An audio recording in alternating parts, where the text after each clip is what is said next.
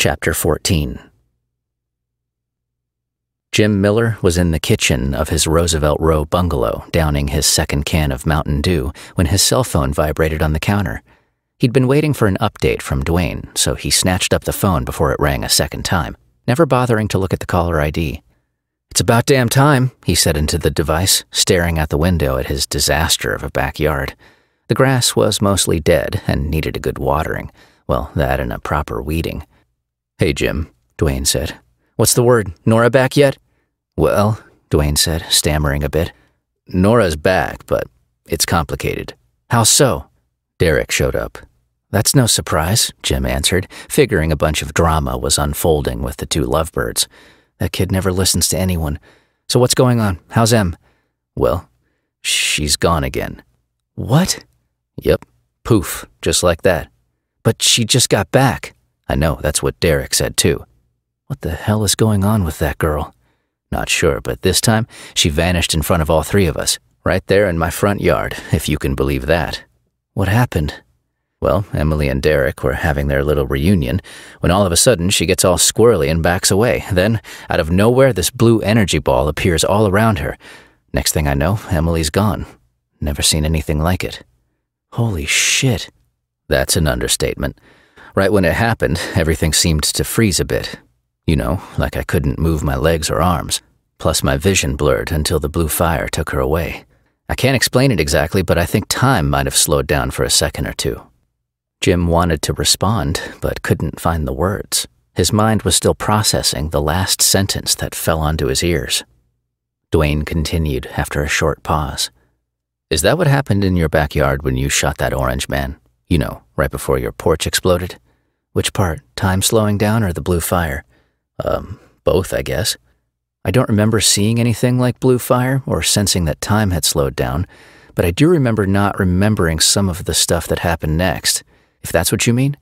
At this point, I don't know what I mean. Not sure what to think about any of this.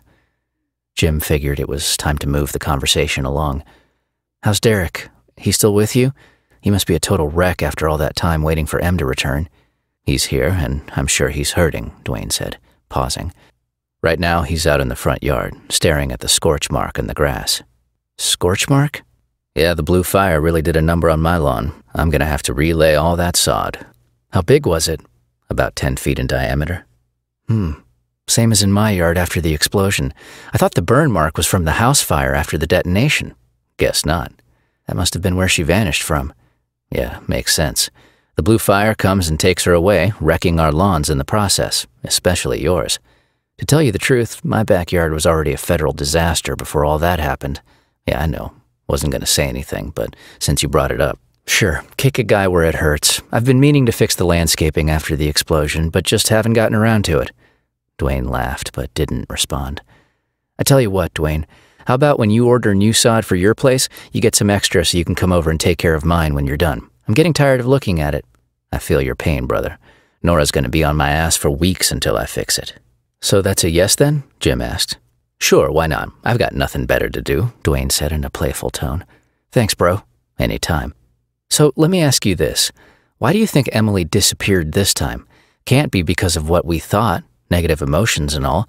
Seeing Derek and everybody else must have been a positive experience, right?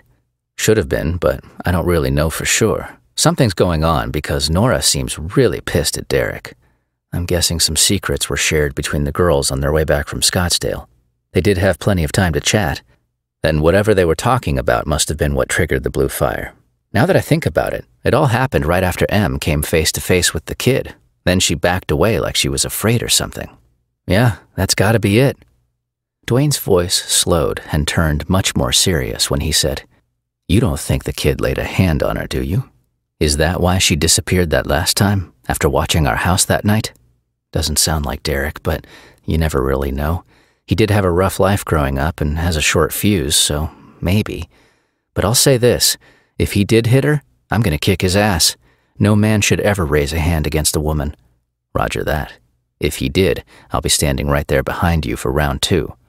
Let's hope we're wrong about this. We've got a lot invested in that young man. So does Emily, Dwayne said, hesitating before he spoke again. So I take it you're coming over? 10 4. We need to get to the bottom of this, pronto. Hold down the fort until I get there. That's easier said than done. If Nora's on the warpath, all hell's about to break loose. Then I better double time it. Probably a good idea. Jim disconnected the call and was about to cruise out the front door and head to Dwayne's. However, as he went to turn his head, something caught his attention outside a blur of motion. A change in light between two of the wooden slats of his back gate where there should only have been a still shadow. He grabbed his 9mm Beretta Nano from his conceal and carry holster tucked inside his belt line. He racked the slide to inject a round into the chamber, then went outside to investigate. Chapter 15 Derek sat on the passenger side of the Impala's hood next to Dwayne. His stomach was doing flip flops while he stared at the burnt area in the grass. His legs felt weak, and so did his heart. He couldn't believe what had just happened to Emily. Not again. Not this quickly. Not after all the time he'd spent waiting for her to return. He exhaled slowly, thinking about the long string of sleepless nights, wondering where she was and how she was doing. Then, before he got a chance to reconnect with her, she vanished, this time in front of three witnesses. If he hadn't seen it with his own eyes, he never would have believed it.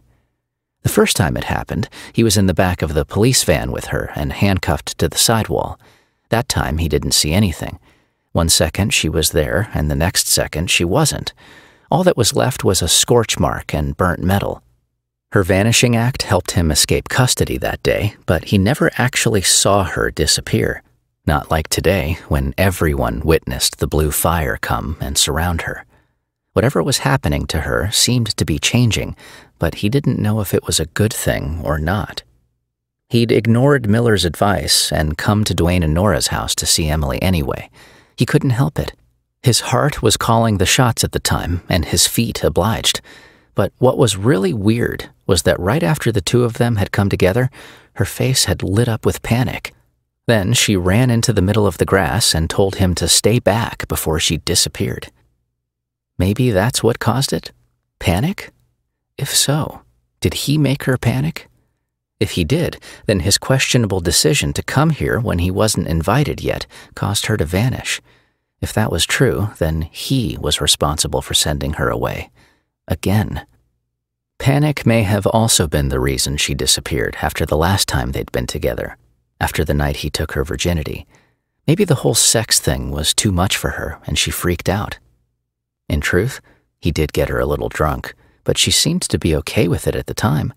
He knew for sure she enjoyed their time together in bed, but still, she might have panicked the next day. Nora seems pretty damn furious with you, Dwayne said, and she doesn't get that way for no good reason. Is there something you need to tell me? Derek shrugged. Beats me. I don't know what's going on here. All I can say is, this sucks ass. I don't think I can sit around again for another year or two, hoping Emily will just show up out of the blue. Literally. It's just too hard, Dwayne. I'm not used to any of this. Every part of me aches right now. It's called love, Derek. Get used to it. I think God has a twisted sense of humor when it comes to relationships. Sometimes I think he gets off on torturing us men, which may be the whole reason he created women in the first place, just to mess with our heads. And our hearts. Yeah, that too. I see what you're saying, Derek said, his chest hurting even worse than before.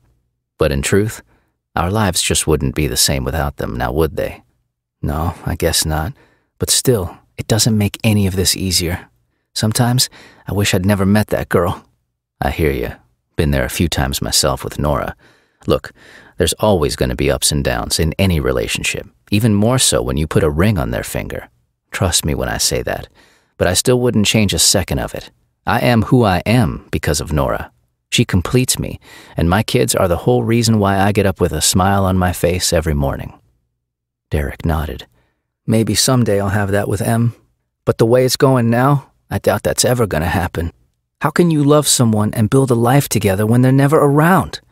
Yeah, you've got your hands full with her, no doubt there, my young friend. But you still haven't answered my question. Is there something you need to tell me about you and Emily? Is there a reason why she keeps vanishing? I think it's because of me. And why would that be true? Did you get physical with her? What do you mean? Like sex? No, the other kind. The kind that lands you in jail. Hit her? Are you serious? Well, did you? No, of course not. I'd never do that. How could you ever think that? Dwayne's face went from friendly to stiff, his eyes focusing hard on Derek. You better not be lying to me, son. I'm not lying. I swear to God, I love that girl with all my heart. I could never hit her. That's why this hurts so damn much. Besides, she just got back. You saw it. I didn't do shit. Before she left, I mean, the last time she was here. No, not then either, Derek said, pausing to select his words carefully. The last thing he wanted to do was admit having sex in Dwayne and Nora's bed the night Emily was house sitting for them. She was being kind of moody right before she disappeared, but I figured that was because. Because you what? Dwayne interrupted, his jaw sticking out with clenched teeth. We kind of fooled her, Derek said, stopping his sentence when something caught his eye in the grass ahead of them. He pointed at it and swung his eyes at Dwayne. Look! Dwayne turned his attention to the blackened area in the grass. So did Derek. What the heck? Dwayne said, sounding confused and surprised at the same time. Both men jumped off the hood and landed on their feet.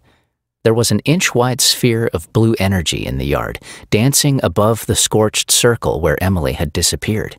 It sizzled and crackled, making humming and buzzing sounds, like the noises Derek had heard coming from the Orange Man's briefcase before it had exploded in Jim Miller's backyard a couple of years before. The sphere expanded, growing from an inch wide to several feet across. When the bottom edge of the hovering energy sphere touched the ground, it instantly elongated into an ellipse. The air was now supercharged with energy, making the hairs on Derek's arms stand on end. For a few seconds, there was a sucking, hissing noise right before the shimmering blue ellipse disappeared, leaving behind a body on the ground. It was a naked body, curled into a ball. He looked at the unconscious person's face. It was Emily. She was back. Chapter 16 Jim Miller held his handgun in a firing position as he swung to the left, stopping next to his newly rebuilt and reinforced cement barbecue island. He kept his eyes on the back gate, scanning for movement, but there was none. So far, there'd only been the one flash of movement earlier when he was standing inside the kitchen. Maybe the early morning moonlight was playing tricks on him. Wouldn't be the first time. His senses and his nerves were perpetually on high alert ever since he'd shot the orange man in his backyard. Right then, his memory flashed, replaying the same incident. His mind showed his right fist coming around and accidentally knocking Derek senseless after the kid stood up from behind the barbecue to protect Emily. The vision continued, showing Detective Allison and his partner sprinting from their stakeout position out front and arriving out of breath. Then the memory changed, showing the orange man's body mysteriously vanishing into thin air, right before the briefcase exploded and ripped his house apart, nearly killing them all. Must be nothing, he thought, after returning to reality, his eyes still monitoring the gate for signs. The shadows were calm, and so were the night sounds. He lowered his gun and turned toward the door to head inside. Then he heard it the grind of sand under a shoe the scrape of cloth against wood, the sudden pop of someone's bones. He stopped walking and froze for a moment, never turning his shoulders or bringing his eyes to bear. Instantly, the facts came together. Those were human sounds, and they were coming from the alley. Someone must have been crouched and hiding behind the gate. The intruder must have just shifted position or stood up slightly, making his bones crack. However, he couldn't be sure there was only one person beyond the fence. There could be more threats. If there were, he was outnumbered. His military training kicked in, keeping him focused and calm. He decided to change tactics and gather more information and gain the advantage.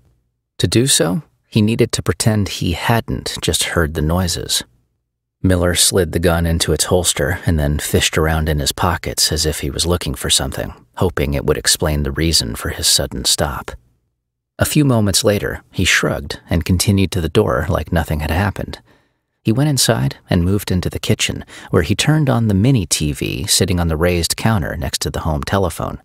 He didn't care what channel the TV was tuned to, but used the remote to crank up the sound. Next, he went to the fridge and opened the door, bending forward to grab a carton of OJ from the top shelf. He straightened and closed the fridge door, making sure the person outside could see him take a swig through the back window. After his swallow, he turned with a casual spin of his heels and went toward the hallway.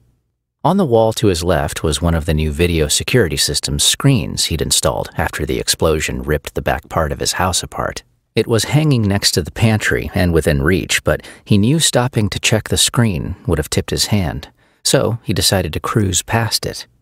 He stopped to take another long drink from the carton when he stepped into the hallway. The corridor he was in ran perpendicular to the kitchen and connected the three bedrooms on the left to the front room on the right. He went left, down the hall, and stood in the doorway of the master bedroom.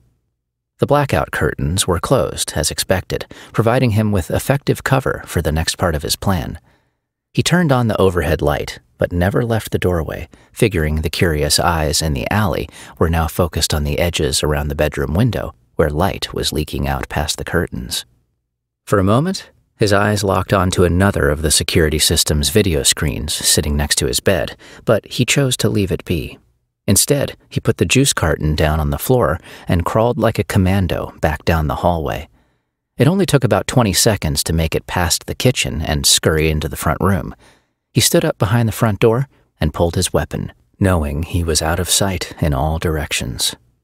Miller turned on the 7 inch LED monitor for the hardwired security monitoring system he'd purchased after the Orange Man incident.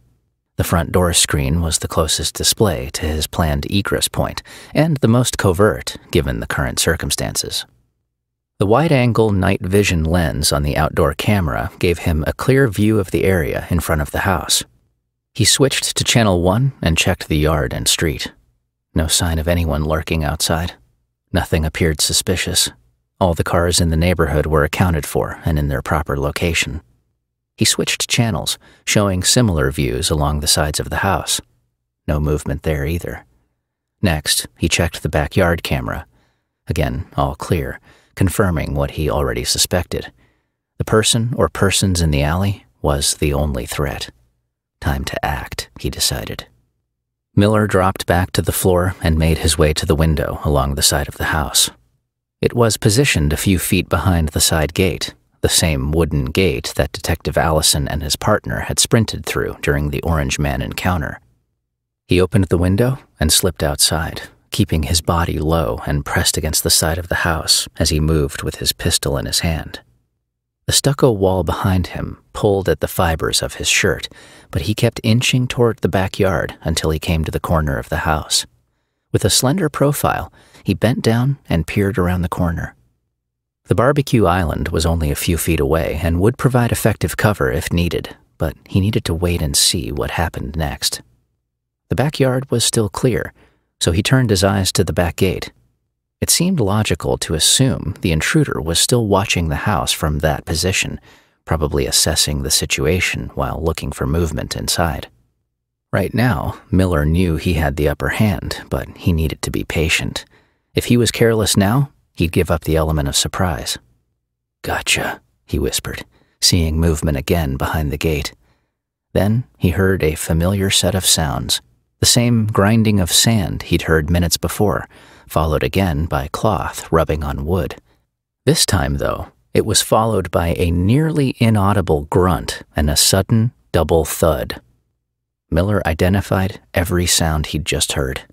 The man in the alley had adjusted his footing, the grinding of sand. He'd cantilevered himself over the locked gate, the scrape of cloth and grunt. Then he'd landed like a cat on the balls of his feet, first one foot, then the other, making the double thud.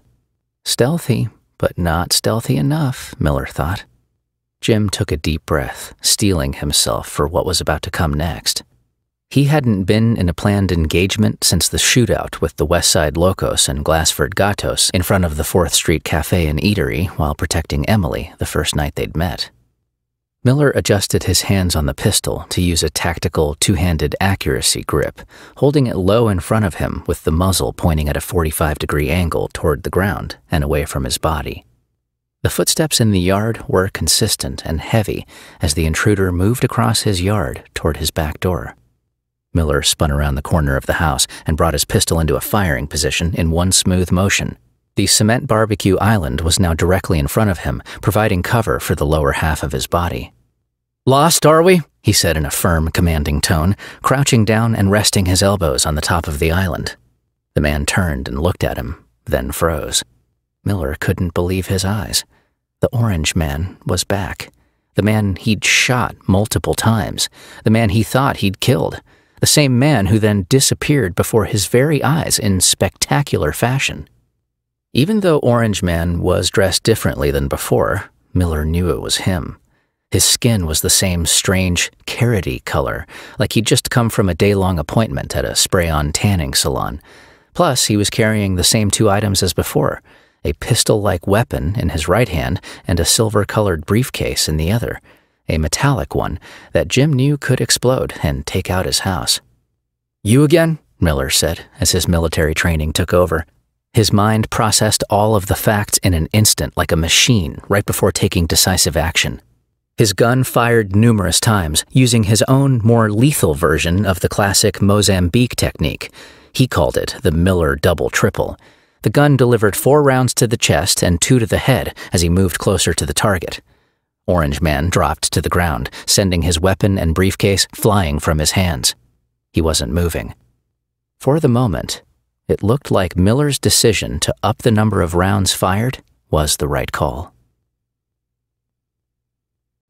Chapter 17 Mom? You there? Answer me.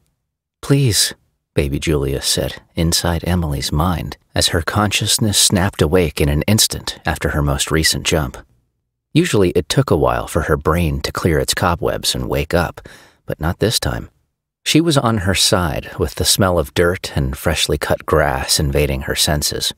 Her cheek could feel footsteps approaching as the vibrations worked their way across the ground and entered her skin.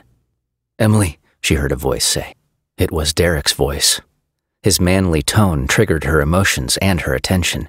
An instant later, baby Julius, his energy at least, became emotionally active when Derek's call to her landed on her eardrums. She could see Derek and Dwayne approaching across the patch of grass. Just then, her mind turned in on itself, wanting to take in and process everything she was seeing and feeling. Her powerful focus shift happened at lightning speed, causing the men's swift approach to somehow slow down to a frame by frame crawl.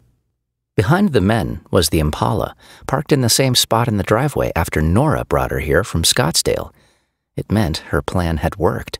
She'd jumped away and then come right back a feat that had only happened once before, but the previous time was an accident. This time she'd consciously controlled it, or Julius had. She couldn't be sure. She was still in Dwayne's front yard, and judging by the budding pre dawn light, she'd only been gone for a few minutes. All good news. Her son was emotionally bouncing around inside her like it was Christmas morning. The jumps didn't seem to affect Julius like they did her. She figured it had something to do with the fact that he didn't have much of a body, not yet. It took a brain to have a headache and a stomach for nausea.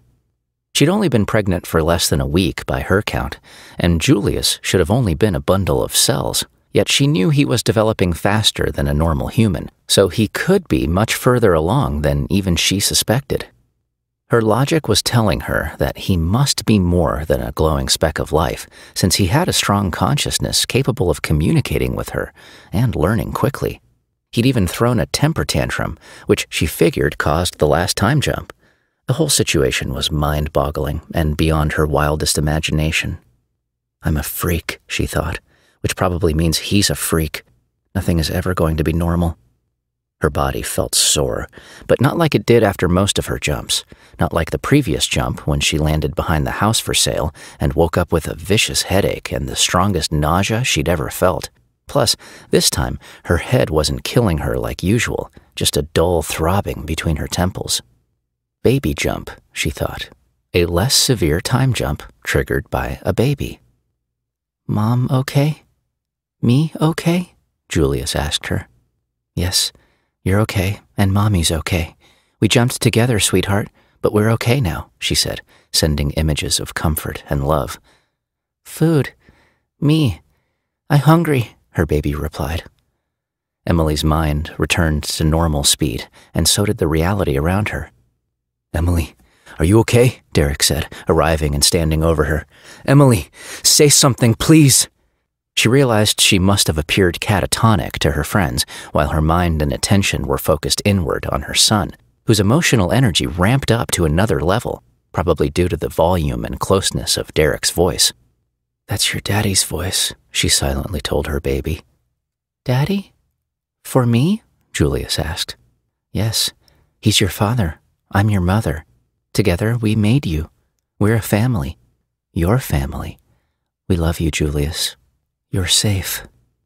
She didn't wait for a response, looking up at Derek instead. I'm okay. As okay as I can be. He bent down to help her, but she waved him away when his hands came close to touching her skin. No, don't. It might make me jump again, she said, sensing a powerful electric charge surrounding his hands. She was afraid if his energy connected with her body, it might send Julius into a frenzy again. She sat up, expecting the usual wave of nausea, but it never came. Baby jump, she told herself again. Her eyes found Dwayne's. She offered him a weak smile. Hi, Dwayne. Thanks. Thanks for sending Nora to get me. Of course, Em. We're always here for you, he said, before pausing for a three count. By the way, that was some trick you just pulled. Trick? Emily asked, trying to latch on to the meaning in his words. Dwayne raised his eyebrows and then waved his hand around the area in a circle to point out the scorch mark in the yard. Oh, that, Emily said, laughing with a smirk on her face. She threw up her hands. Pfft, it was nothing. He smiled. Yeah, okay, if you say so. After all, that kind of nothing happens every day around here. We should probably get her inside, Derek said, looking at Dwayne. Dwayne nodded. Yeah, before one of the neighbors sees her and calls for some of Phoenix's finest. Emily looked down at her body and squealed. She'd been so distracted by Julius and her post jump analysis that she'd forgotten one of the more important aspects about her time jumps nakedness. She crossed her legs and tried to cover her exposed breasts with her hands. Chapter 18 Jim Miller moved slowly across the patio behind his house as he approached the orange man's body, with his finger resting lightly on the trigger and his heart pounding away at his chest. The last time he'd encountered this man, the consequences were disastrous, not only for him, his friends, and his house, but for the neighbors as well. He wasn't sure how this man was still alive after the numerous rounds he'd pumped into him the last time they'd met. Then again, Maybe this wasn't the same man. Could be his twin or some kind of genetic clone. Strange facts yield strange theories, he mumbled. The intruder's chest wasn't heaving, and there was no sign of movement across his body. The man appeared to be dead, but Miller knew there was no guarantee his assumption would hold true. He'd made that mistake the first time around and wasn't going to make it again, not when it came to this man and his advanced technology. He kicked Orange Man's pistol away, then turned his eyes to the metallic briefcase. It was on the ground with its lid still closed, only inches from the man's outstretched hand. Miller bent down to grab it and haul it a safe distance away, but before his fingers landed on the handle, he felt a strong pressure grab hold of his ankle. He looked down and saw Orange Man's hand wrapped around it. Before he could react, Miller's leg was yanked to the side, sending him spinning around from the force. He hit the ground on his left elbow, sending a firm thud into his bones. When he brought his eyes back to the target, he saw Orange Man twisted over on his right side with his left hand opening the briefcase. Miller unleashed the rest of the ammo from his gun, this time focusing all the shots at the man's head. Round after round found its mark, and he didn't stop his trigger finger until the weapon was empty. Orange Man flopped back to the ground after succumbing to the barrage, but not before he managed to press the palm of his hand against the swirling flat surface inside the case. Oh, no, you don't, Miller snapped, springing to his feet. He ran to the briefcase and closed its top, now cradling it in his hands like a carton of eggs. A glowing carton of eggs wrapped inside a blue cocoon of energy. Miller knew from experience what was about to happen and needed to find a safe place to stash the high tech bomb before it went off someplace that would stop the explosion from ripping apart the neighborhood again.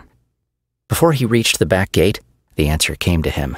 Two houses down on the left, a brand new swimming pool in the neighbor's yard.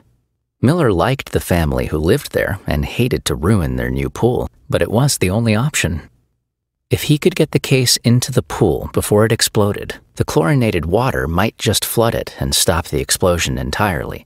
If not, the water should at least absorb the majority of the shockwave and contain the shrapnel.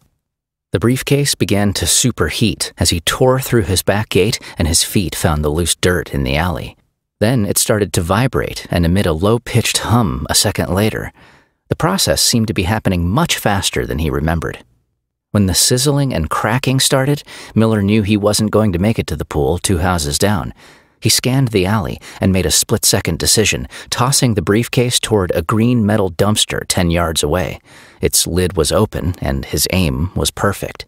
The briefcase spun in the air on its horizontal axis and then disappeared from view as it cleared the edge of the metal container and landed inside. He hit the ground and covered his head with his arms. Emily struggled to her feet in Dwayne's front yard, taking her hands from her breasts long enough to push herself up from the ground. Derek reached out to help again. She frowned and snapped. No, I told you before, no. Mom, need some food, baby Julius said inside her head. Food, coming, she sent back, scolding her baby for the first time. Food seemed to be taking precedence over her baby's fondness for Derek. Sad. Me. Mommy mad. Sad? Emily said out loud.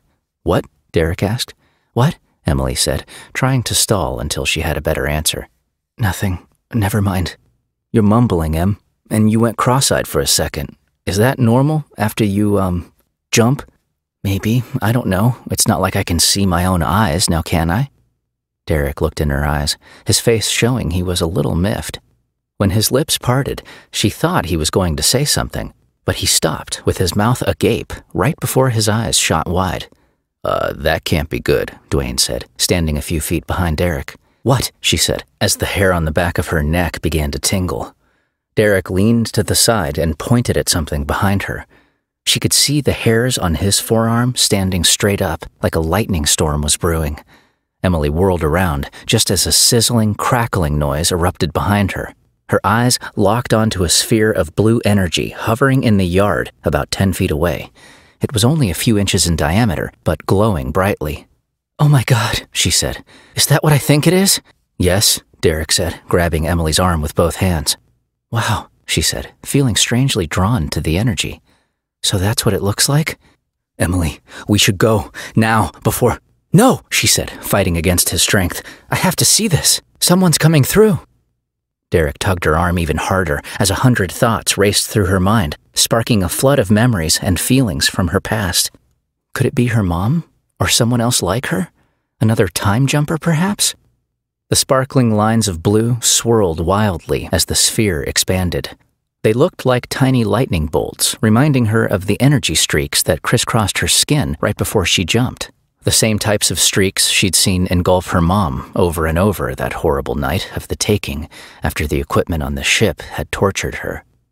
Emily summoned all her energy, pulling Derek along as she moved closer to the anomaly. Dwayne, Derek called over his shoulder. A little help here? Dwayne grabbed onto Emily's waist, trying to help Derek pull her away. Let me go, she said with a clenched jaw, dragging both of them forward in the grass. Somehow, she had the strength to keep plowing forward with two grown men hanging onto her. Baby Julius sent out a deluge of emotion she hadn't felt yet fury. His tiny mind was on fire, his energy crackling like a fuse burning furiously on its way to a stick of dynamite. She couldn't take her eyes off the sphere. She'd never seen anything that was connected to her time jumps before, at least not from the outside. It was mesmerizing. She'd always been part of them, experiencing them from the inside out. Emily dug her feet in, dragging her two friends toward the hovering sphere as it grew in size. It was over two feet wide and still expanding. When its bottom edge made contact with the ground, it morphed into an egg like shape she could make out a human figure inside. Mom, is that you? she said out loud, ignoring the powerful yanks and tugs at her body. Julius was raging inside her. He was livid. No, no, no! He screamed at her. Quiet, she sent back, sending an image of her index finger over her mouth. Julius recoiled. She could feel he was scared and shrinking away from the connection.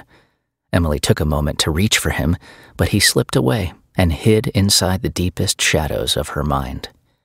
She turned her attention back to the energy sphere, putting her hand out in its direction. A moment later, there was a hissing noise right before the blue ovoid disappeared in an instant. When it vanished, it left behind a naked human figure lying in the grass. Whoever had just been deposited by the blue fire was curled up in a ball.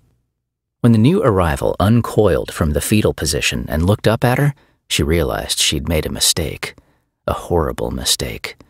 It wasn't her mom. It was Orange Man. She screamed. Chapter 19 Miller waited in the dirt, lying face down in the alley with his hands covering the back of his head, but the briefcase explosion never came. He let another minute tick by before deciding to stand up and brush himself off. The well seasoned dumpster was 10 yards in front of him and sitting 20 degrees askew from the fence behind it. Its set of four 10 inch caster wheels and rusty exterior told him he'd chosen well. The gray metal beast would have contained much of the blast, if there had been one. The abundance of rust wasn't the only fact signaling the container's age and old school construction. There was a faded political sticker on the side that said Mondale Ferraro 84. Like him, the container had been around a while and seen a great many things while standing watch in the darkened corridors of central Phoenix. However, their combined years of experience didn't explain why there hadn't been an explosion. The last time Orange Man pressed his palm to the case's swirling control surface, it initiated a self destruct sequence. Miller ran through it in his head, wondering what he'd missed. He was sure his memory had recalled the events correctly, but perhaps whoever sent Orange Man to infiltrate his home for a second time had changed the rules of engagement or adjusted the mission objectives. Either would explain the change in tactics. While it was clear this encounter was different than before, one fact remained the same. Orange Man had come uninvited onto his property and did so with a weapon drawn. Miller felt more than justified in eliminating the threat with lethal force, especially given their violent history together. However, law enforcement might have a different take on it. But if he could show them the tech in the briefcase and the man's weapon, maybe they'd side with him. He went to the dumpster to investigate. When he put his hands on the leading edge of the metal and looked inside, all he saw was trash. He couldn't believe it. It landed inside when he tossed it. He was sure of it. Sunrise was still a few minutes away, meaning he couldn't see every nook and cranny from where he was standing. There was a decent amount of ambient light from the neighboring houses and yard lights, but shadows still existed inside the dumpster.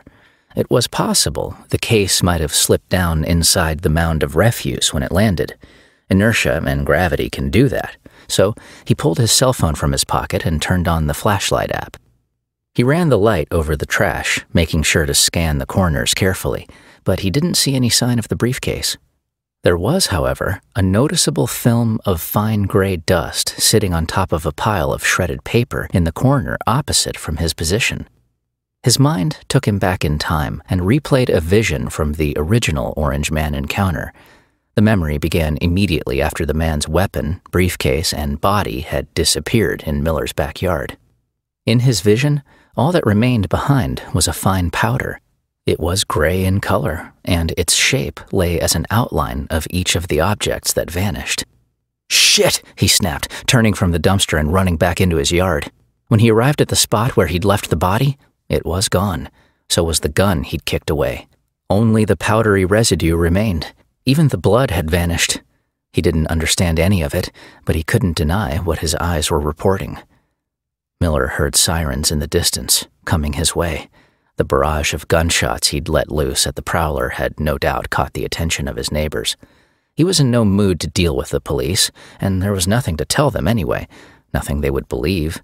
Plus, all the tech was gone, and so was the rest of the evidence. He scattered the gray colored dust across his yard with his foot to hide what was left of the residue, then ran into the house, grabbed his keys, and went out the front door to his truck. He cranked the engine and backed out of the driveway with a squeal of the tires before tearing down the street on his way to Dwayne and Nora's house. Chapter 20 Emily retreated from Orange Man, stumbling backwards and falling into the grass in front of Dwayne's house. Her first instinct was to protect baby Julius. She wrapped her hands around her midsection and sent her thoughts inward to search for him, but he wasn't there. She knew he was hiding from her, having shrunk the size of his consciousness and withdrawn from the psychic connection. She figured that was what Julius did when he was frightened, made his mental footprint as small as possible, then hid in the neural shadows where her mind couldn't find him. Emily decided to leave him there. She didn't want him to experience the Orange Man through her eyes and her emotions. She didn't want to either, but she didn't have a choice. Derek, get her out of here, Dwayne shouted. Orange Man stood up before any of them could react and grabbed Emily by the wrist. He pulled at her with a powerful grip. Dwayne stepped forward to engage the muscular goon. He took a roundhouse swing, but Orange Man dodged the punch easily after letting go of Emily. Orange Man delivered a sharp left jab in response to the attempted assault, landing a lightning fast blow on Dwayne's chest. Dwayne flew off the ground, sprawling backwards across the yard as if a cannonball had just smashed into some character in a violent cartoon. He tumbled until his back smashed into the passenger side door of the Impala in the driveway. His eyes were closed and his head slumped down, but Emily could see he was still alive with his chest heaving. Derek stepped in front of Emily, cradling her behind his back with his arms. He moved her back a few steps from the assailant, then brought his hands up in a boxer's pose. Orange Man didn't hesitate, quickly blowing through Emily's defender with a karate kick to the gut. Derek's body flew into Emily's, sending both of them spilling backwards into the grass. While Derek moaned and gasped for air, Orange Man came at them and grabbed Emily by the ankle, dragging her across the ground on her back.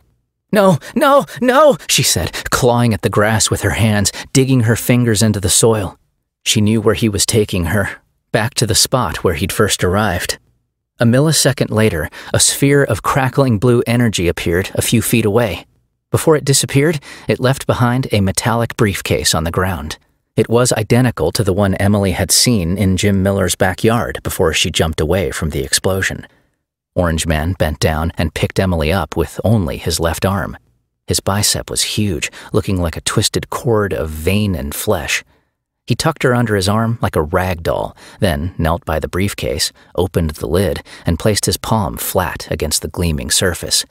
Let go of me! Emily screamed, kicking and punching with every ounce of energy she had. But the orange man's grip was like iron, and her blows had no effect. He looked like an exact copy of the man from Miller's backyard, but his movements were different. He was more fluid, more efficient than before. She got the sense that he was a superior model with upgrades. The notion sounded ridiculous to her, but it didn't make the thought any less real in her mind. The briefcase began to hum as it crackled with energy. The inside of the lid had changed its color from a nondescript gray to an electric blue. Then, a bolt of liquid fire leapt across the space and connected with his forehead like a harpoon. Orange Man focused his gaze on the glowing blue surface inside the case, still attached by the tether of blue energy stuck to his forehead. His gaze was focused and intense, as if he were keying in a command sequence with his mind. Blue flame, though it was a lighter blue than Emily was used to seeing, lighter than the bolts that crisscrossed her body when she jumped, began to creep down from his head and move across his body like a swarm of ants. When it made its way across his shoulder and down his arm, it touched Emily at the midpoint of her back.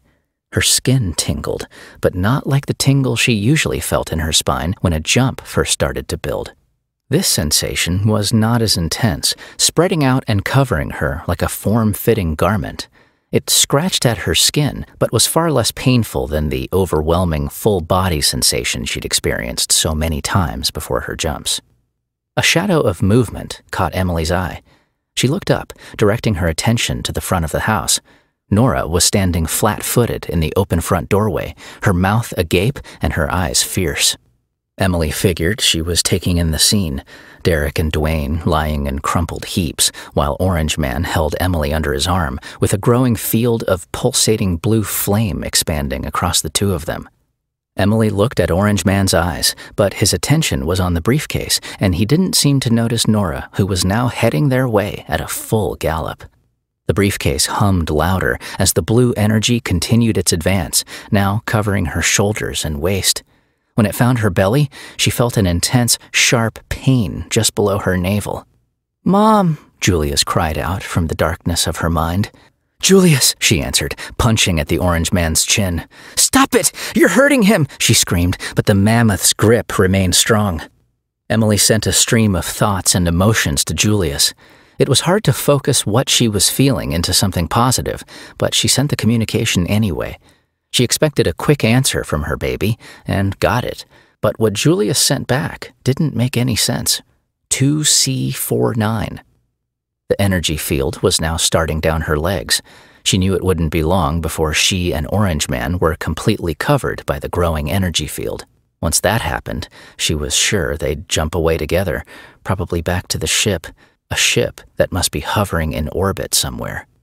Oh, fuck, no, you ain't! Nora yelled when she arrived at high speed, lowering her shoulder like a linebacker closing in on a running back. Orange Man looked up from his briefcase a millisecond before Nora slammed into his chest. He let go of his grip on Emily as the force of her impact sent him backwards. Emily felt time slow to a crawl, ticking by like some special effect in an action movie. She found herself falling to the ground, free from both the orange man and the blue energy. She watched in horror as the energy field instantly reached its crescendo and spread out to fully engulf both Nora and the in flight orange man, still twisting in midair.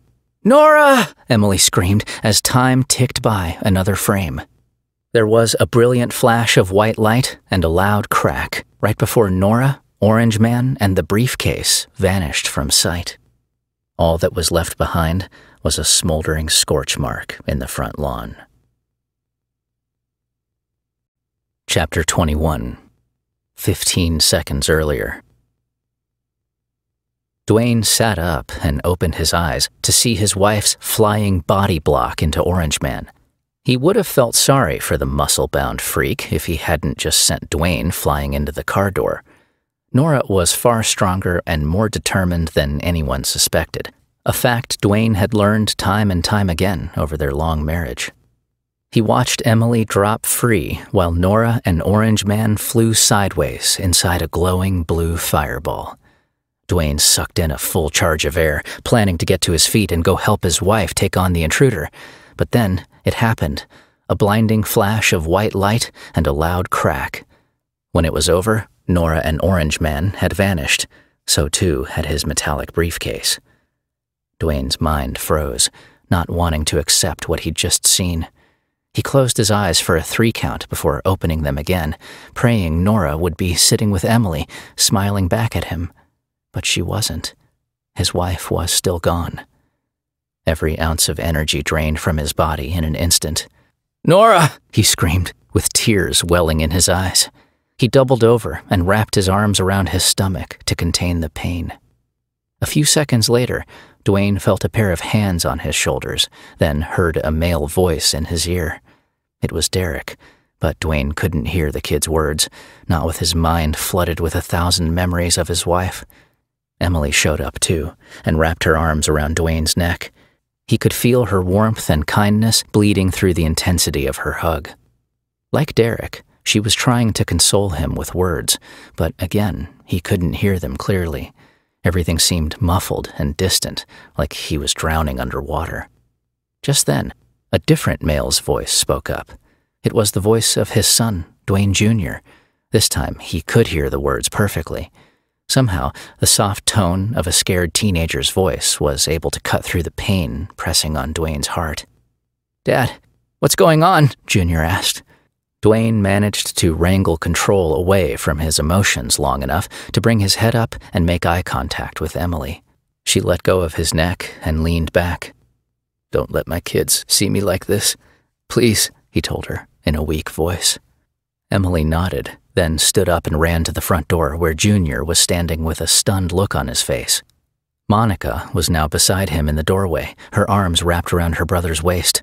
Where's my mom? Monica asked Emily with a petrified look on her face. Emily scooped the kids up in a wrap of her arms. Let's go inside, and I'll explain. But my dad, Monica asked. What's wrong? What happened? Come on now, both of you inside. Your dad needs a minute, okay? Dwayne watched the front door close, then brought his attention to Derek. Sorry, buddy, Derek said in a somber tone. I tried to stop that guy. I really did. Derek's shoulders slumped and his head dropped, pressing his chin into his chest. I know you did, Dwayne said, wanting to console the kid, but he couldn't find the strength to utter any more words. His breath was short and his head became dizzy, just as time began to slow down. It felt as though all of his senses were on fire, allowing him to actually feel the moisture in the air. The atmosphere seemed to be closing in around him like a suffocating blanket. The deafening thump of his heartbeat wasn't helping him concentrate either, pounding at every cell across his body. His pain receptors were in overdrive, making his eyelids and even his hair hurt. Dwayne heard the screech of tires coming from the street to his right. He craned his neck up and looked to see what was happening. It was Jim's truck, skidding sideways and coming to an abrupt stop, with its front tires sitting on top of the cement sidewalk.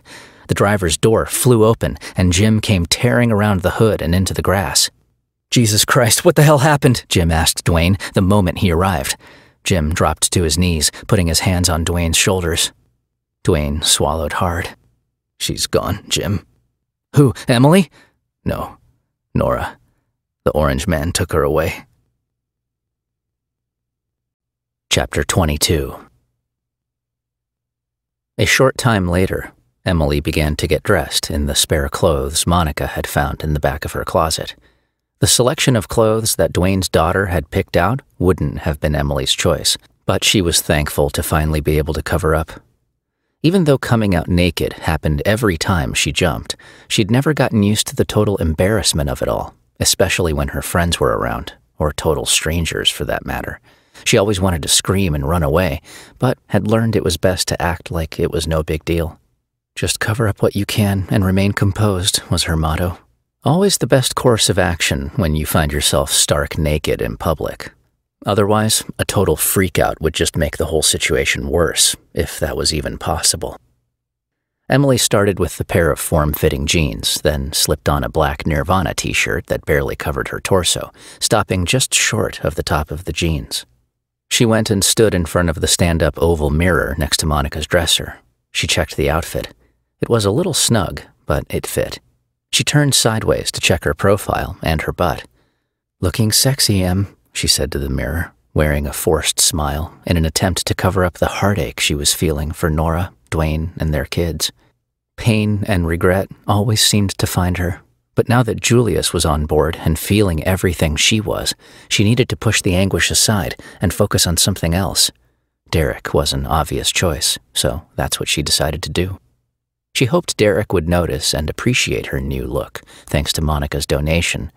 He'd been in a foul mood ever since they'd stepped inside after Nora vanished in the front yard. Something had him all pissed off. She sighed. Boys. Right then, her eyes noticed something it was right at the point where the tight t shirt and jeans came together. She pulled the shirt up to expose the skin underneath, then checked the angle of her belly. Huh? She asked, realizing her stomach was pushed out a bit. It wasn't her time of the month yet, so she didn't think it was bloating from water retention. And there was no chance she'd put on any weight recently, since she hardly ever had time to eat. Hmm. So that must mean it had to be a baby bump. No, not yet, she mumbled, knowing she'd been pregnant less than a week. Maybe it's the jeans, she thought. She unbuttoned them again and pulled the zipper down to relax the fit. She checked again. Crap. The bump was still there.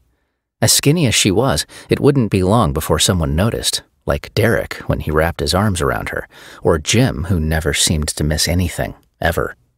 She sighed, knowing she'd have to come clean, and do so soon. Emily remained still and admired her profile with the shirt still up and the jeans undone. Her hands came together and rubbed across the area, wondering if Julius could feel her touch. Can you feel Mommy's hands? she asked her son, but an answer didn't come. He must have been asleep, or hiding. She could never be sure which. Emily let the question fade and stared at her figure in the mirror, wondering how big she'd get before Julius was born. Her mind flashed a scene of her waddling in an uneven jog down a dark alley while trying to avoid the cops. Even though it was only a dream, it still sent a chill across her neck and back. Running like that wouldn't be good for her son, or for her. That meant her days of living in the shadows would soon be over. More questions streamed into her mind, only the new set were much more negative and scary, the kind of questions that made her heart race and her breath grow short. Emily concentrated and stopped the thoughts, not wanting to deal with them at the moment, not with Julius nearby and probably tuned in. She wanted him to be a happy child and not be scared and worried all the time, like she was. Mommies have to be strong, she mumbled to herself, even when they don't want to be. She turned to face the mirror and took a minute to run her fingers through her mop, trying to fix what was right now a total and complete disaster. Some of the red strands did what she wanted them to do, but the rest of them, well, let's just say they had other plans and weren't in the mood to listen. Her hair was perpetually a disaster, just like her life, but there wasn't much she could do about it. Being a homeless time jumper took its toll on all things Emily, and she'd given up trying to be a fashion princess a long time ago. The end of the bed called out for her, so she went to it and sat down. She bent over and slipped on the pair of low top Chuck Taylor sneakers and began to tie the laces. Emily knew she had a lot of explaining to do to Derek, Dwayne, and the rest of the gang, but decided it would be best to wait until the proper time to do so. Nora had just disappeared, and her husband and kids were an emotional wreck. Even with the baby bump starting to show, right now wasn't about her. It was about the Morris family, the family who had taken her in and come to her rescue on multiple occasions. Her heart was breaking for each one of them, especially Nora, who was now God knows where. Emily feared Nora was lashed down and being tortured on the ship just like what had happened to her and her mom ages ago. When the laces on the second shoe were tight, she got up and scurried down the hall and went back to the TV room where everyone else was gathered. Emily decided to move in next to Jim, who was near the door and holding Dwayne's double barreled shotgun across his chest. None of them were sure if Orange Man would make another appearance, so standing guard made sense. Dwayne was sitting at an angle on the couch with his two kids on either side of him. It was obvious the poor, red faced man was emotionally distraught over what had just happened to Nora. His lungs were still hyperventilating, and his face was red and dripping with sweat. Dwayne Jr. gave a tall glass of water to his dad and helped him take a sip. Monica was on the other side of Dwayne, tending to his sweating problem with a washcloth from the bathroom. Both of the kids had changed a lot while Emily had been away. Junior was filling out nicely into his taller frame. The growth of stubble across his chin and his lengthy sideburns were a nice touch, making him look much more mature. He was no longer the pale skinned adolescent she remembered. Monica's purple and yellow hair was definitely new and a bit over the top, but somehow it seemed to fit her off center personality. Emily wondered how the teenager was able to convince her rule enforcing mom to let her keep the defiant new look that and not have to remove the diamond stud sparkling from her left nostril. The TV room was a 30 foot rectangular addition running parallel to the back of the house. It didn't exist the last time Emily had been in the Morrises' home, which was the night she was asked to house sit for them. At the time, Dwayne and Nora were taking the kids on vacation in California for the weekend and were nice enough to ask Emily to keep an eye on the place while they were gone. Sure, part of the reason they asked her was for their benefit, but she was smart enough to know they really did it for her. They didn't want her sleeping on the street somewhere or taking her chances in one of the disgusting shelters around town. It was the same night she'd invited Derek over without their permission. A few cocktails later, the two of them ended up in bed together, in Nora and Dwayne's bed, having sex. Not cool, Emily thought reprimanding herself for some poor decision making at the time. The The longest side of the new family room featured a built in bookshelf at each end with a flat screen television hanging on the wall between. The two short sides of the room held viewing windows with fancy wood shutters covering the glass. All the shutters were twisted open at the moment, showering the room with long casts of shadows from the early morning sun. Against the wall opposite from the TV was a huge six piece sectional couch, plus two easy chairs and a central coffee table covered with a sprawl of remote controls and sports magazines. This room is new. I like it, Emily said to Miller, who was hovering next to her. The man's eyes were locked onto Dwayne as Monica dabbed a cold compress to her father's forehead. Yeah, Dwayne and I built it last summer, Miller said, shifting his weight on his feet. His eyes darted about the room, stopping on each of the windows and doors. Every time his focus moved, the shotgun followed. It's amazing what a few meat lover pizzas and a case of beer can accomplish, and this time, neither of us put a nail through our fingers with the nail gun. That's a first. She laughed. I'll bet. But I have to hand it to Nora. She never said a word about it, even though I know she was secretly standing by with the first aid kit. I think in the end she was a little disappointed when the project was done and no bloodletting took place, Life certainly has its traditions, but I'm glad we were able to finally shake that one. It's never good when all the nurses at the ER know you by name. Well, you guys did a nice job, she said, admiring the antique jukebox parked against the wall adjacent to the hallway entrance. No music was playing, but its lights were on and flashing. So too were the lights across the front of the stand up dart machine, ten feet to its right. Emily thought about something the computer geek, Sheldon, had told her about in the library. I take it this is supposed to be Dwayne's man cave? Yep, all we're missing is the kegerator and a stripper pole, Miller said, moving his gaze to her. Oh, yeah, I'm sure that's to happen, Emily said, shooting Miller a shame on you look. He smiled and winked, letting his shoulders and his posture relax a bit. Mission accomplished, she told herself. Keeping everyone calm and ridding the room of excess tension was priority number one. It was all she could really do now to help, plus, it would be a huge benefit when it came time for her to come clean. Feeling better? Monica asked her dad as she took the wet cloth from his head. Yes, much. Thank you, sweetheart. Your mother would be proud of you for taking care of your old man like this. Monica smiled, though it looked a little forced and painful. She stood up and left the room, pulling a wisp of air past Emily as she cruised by.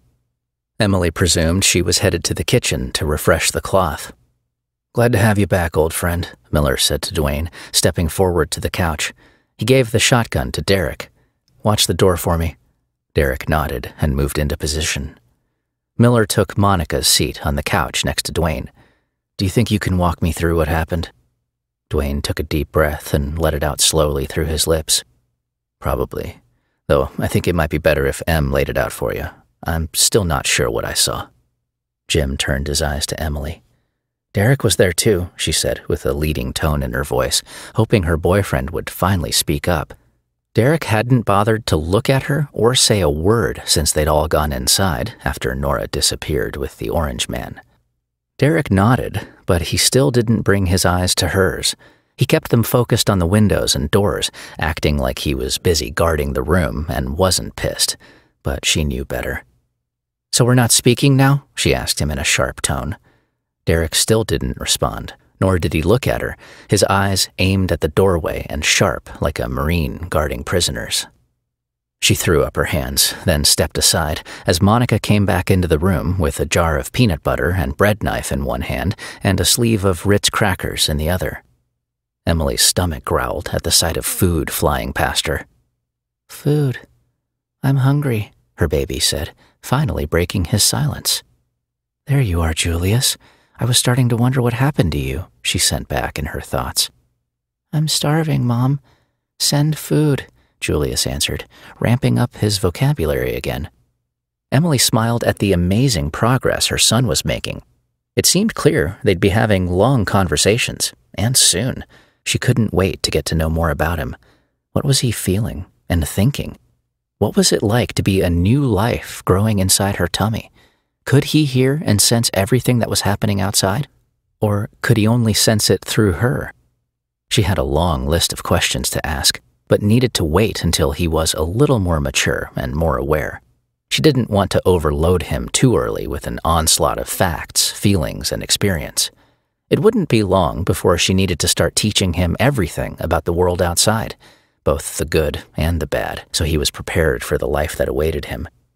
Please, Mommy, I'm hungry, he said again.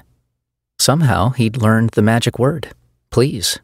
Emily passed her hands over her tummy and sent a communication to him with her mind. In a minute, honey. Mommy's working on it.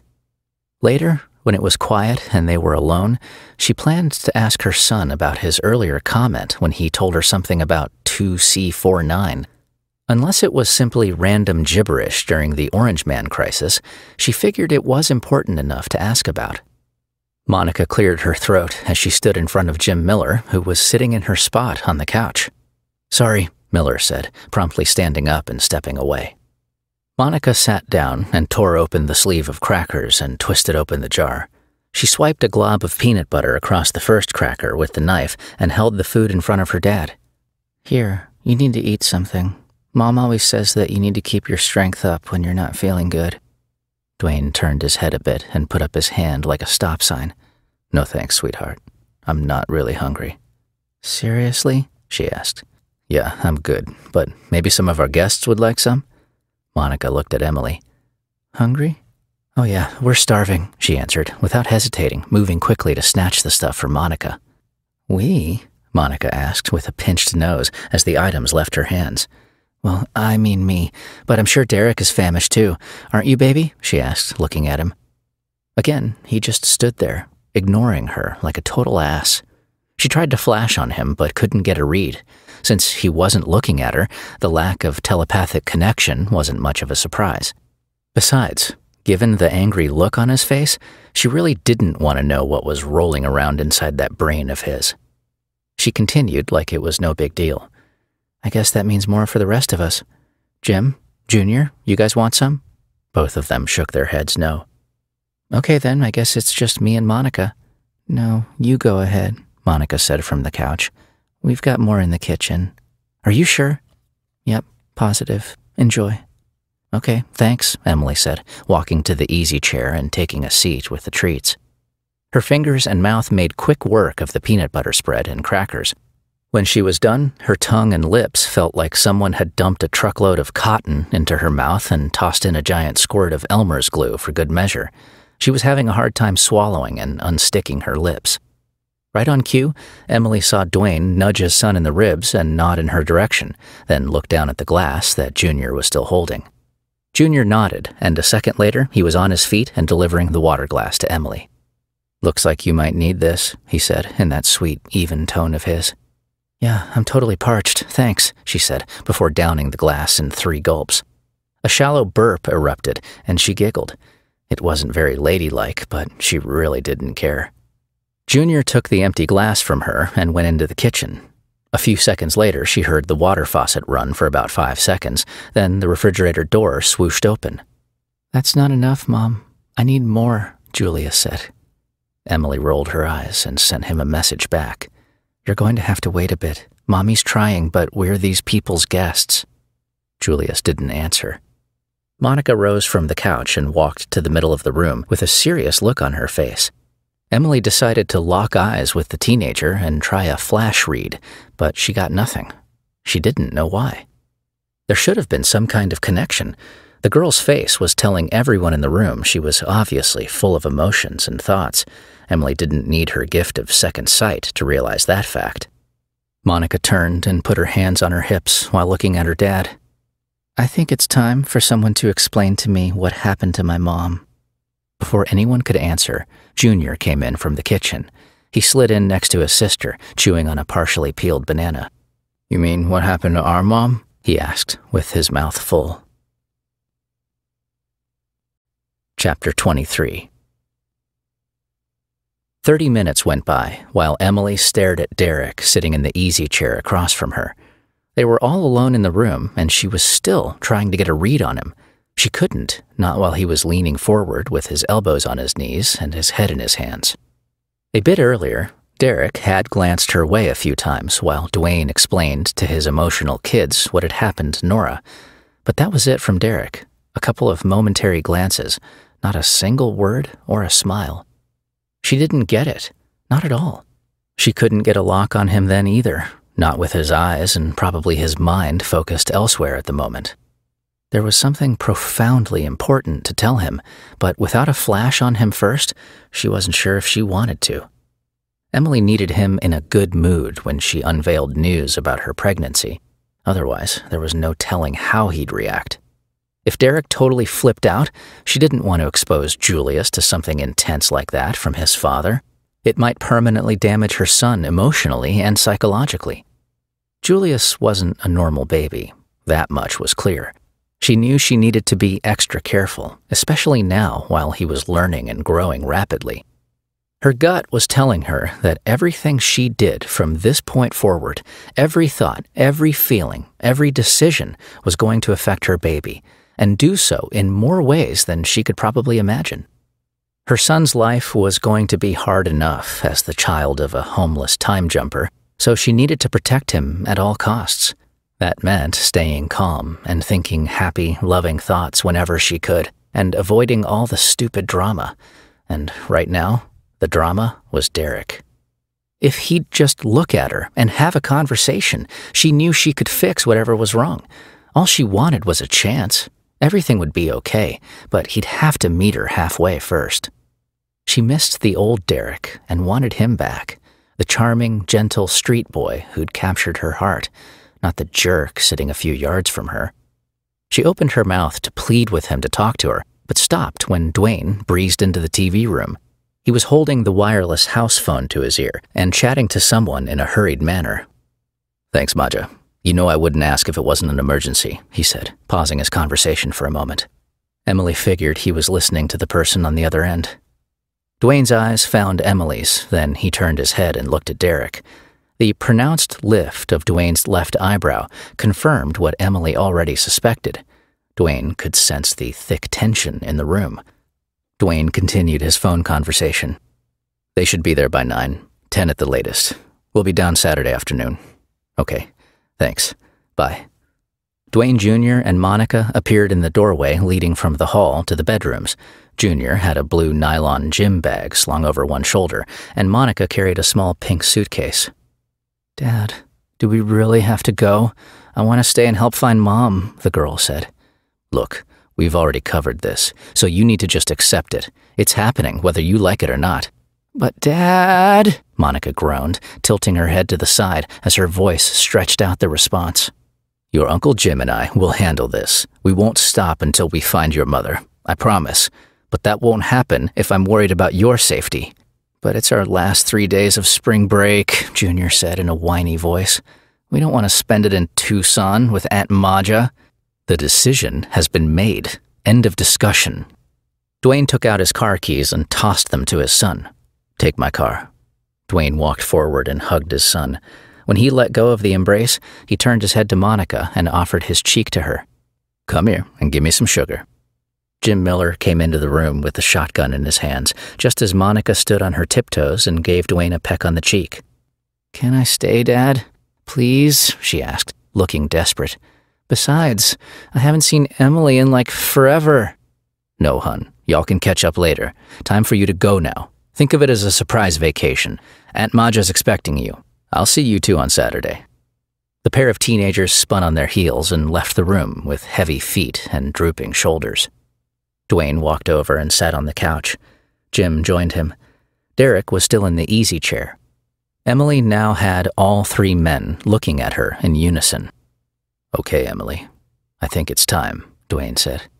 For what? she replied, pretending she didn't know what he meant. She did, but her heart didn't want to go there. Not now. Not like this. She tried to get a read on all three men, but all she got back was empty static. Dwayne's voice turned deep and slow. Time to tell us your story. All of it, young lady.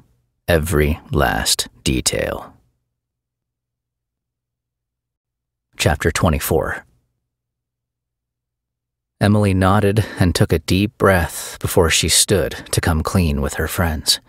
She felt like a hated politician stepping in front of the podium, ready to give an apologetic speech in front of a crowd of angry voters. Her lips were closed, and she kept them that way while she took a few seconds to run through it in her head. She needed to pick exactly the right words, otherwise, she was sure everyone in the room would hate her when she was done. Fortunately, Julius was quiet at the moment. She couldn't sense his personality bubbling around like normal, which she hoped was because he'd just fallen asleep. If so, then perfect timing, because it was now or never with the other men in her life. She could still feel Derek's negative energy wafting its way across the room and landing on the folds of her heart. Their initial reunion outside had been nothing short of amazing, though it had sent her reeling emotionally. His love had overwhelmed her, and those power feelings transferred directly to baby Julius, kickstarting a time jump. Even though Derek's love could be dangerous for her, his affection and warmth completed her. It was what she wanted, needed, and craved more than anything else right now. He sat there looking at her with those gorgeous eyes of his, but when she flashed on him, she got nothing. It was like he was dead inside, both emotionally and spiritually. She knew he loved her, but his face was a jumbled mess of frustration and anger. She didn't blame him if he was upset about her leaving after their night together, but it was probably more than that. If she had to guess, her disappearance must have brought up everything from his past, all the pain and loneliness he'd been through all his life. Her being away for two years must have given him plenty of time to sit and think, dwelling on all the bad things in his life. She was certain his being alone again must have been eating him alive. If she was right, then everything that had hurt him earlier in life had come back to haunt him while she was away. Derek's abandonment by his birth mother, the physical and emotional abuse he'd suffered at the hands of his foster father, the tough times he'd had on the streets while running with the Locos, the time he'd spent in jail after saving her from Rob the rapist. All of it, every last despicable moment, must have been bubbling up and getting tangled with the emotions he felt for her. Being in love with a time jumper must totally suck, she thought. But there was nothing she could do about it. He loved her, and she loved him. End of story. The feeling she felt for him when they'd seen each other outside in the driveway wasn't gone, just tangled around the harsh reality of the current situation. At the moment, the only thing keeping her from losing it altogether was baby Julius. His comforting, tender presence gave her something positive to focus on, something to distract her from the horrifying fact that Derek wouldn't talk to her. But even worse than Derek's pullback was the fact that she was responsible for Nora's disappearance. If Nora was being tortured by the beings on that ship right now, she'd never be able to forgive herself. Emily realized she'd been standing in front of her friends for at least a minute, maybe longer, it was time to expose the truth and bring them all into her circle of trust. Her heart was ready, and so was her resolve. Sorry, you guys. It's just that I. I don't know how to start. I've never told anyone my story before, she said with a thready voice, swallowing hard and making a loud gulp sound in the process. I've had to keep it all to myself for so long. I never know who I can trust or what I should say. It's just so hard for me being all alone and never knowing where I'm going to be from one day to the next.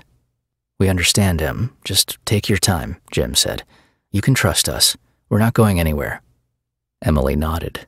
But there's something else, too. Something I have to say before I tell you everything. But it's all connected, I promise.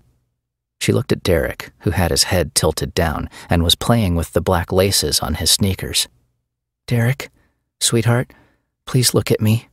He brought his eyes up, though they looked empty and withdrawn. Honey, I wish I could tell you this alone. I wish there was a better way. I was going to ask Nora how I should do it, but now she's. I don't know where she is, Emily said, as the tears welled up in her eyes. Her heart was racing at light speed now, and her lungs were sucking in air faster than she needed it. She took a few moments to calm herself. She looked at Dwayne. Dwayne, I'm so sorry about Nora. If I thought for a second that anything like this would happen, I never would have. It's okay, Em. Don't worry about me right now. Don't worry about Nora either. As far as I'm concerned, whoever took her is who needs to worry. Trust me, that woman is a force of nature, and she's going to unleash hell on them. So put her out of your mind and just go ahead. Tell us what you need to say. Jim and I have been waiting to hear this for years. And Derek here, well, you know how he feels about you. It's written all over his face. So just take your time, Em. Nothing you say is ever going to change how any of us feels about you. Okay, thanks.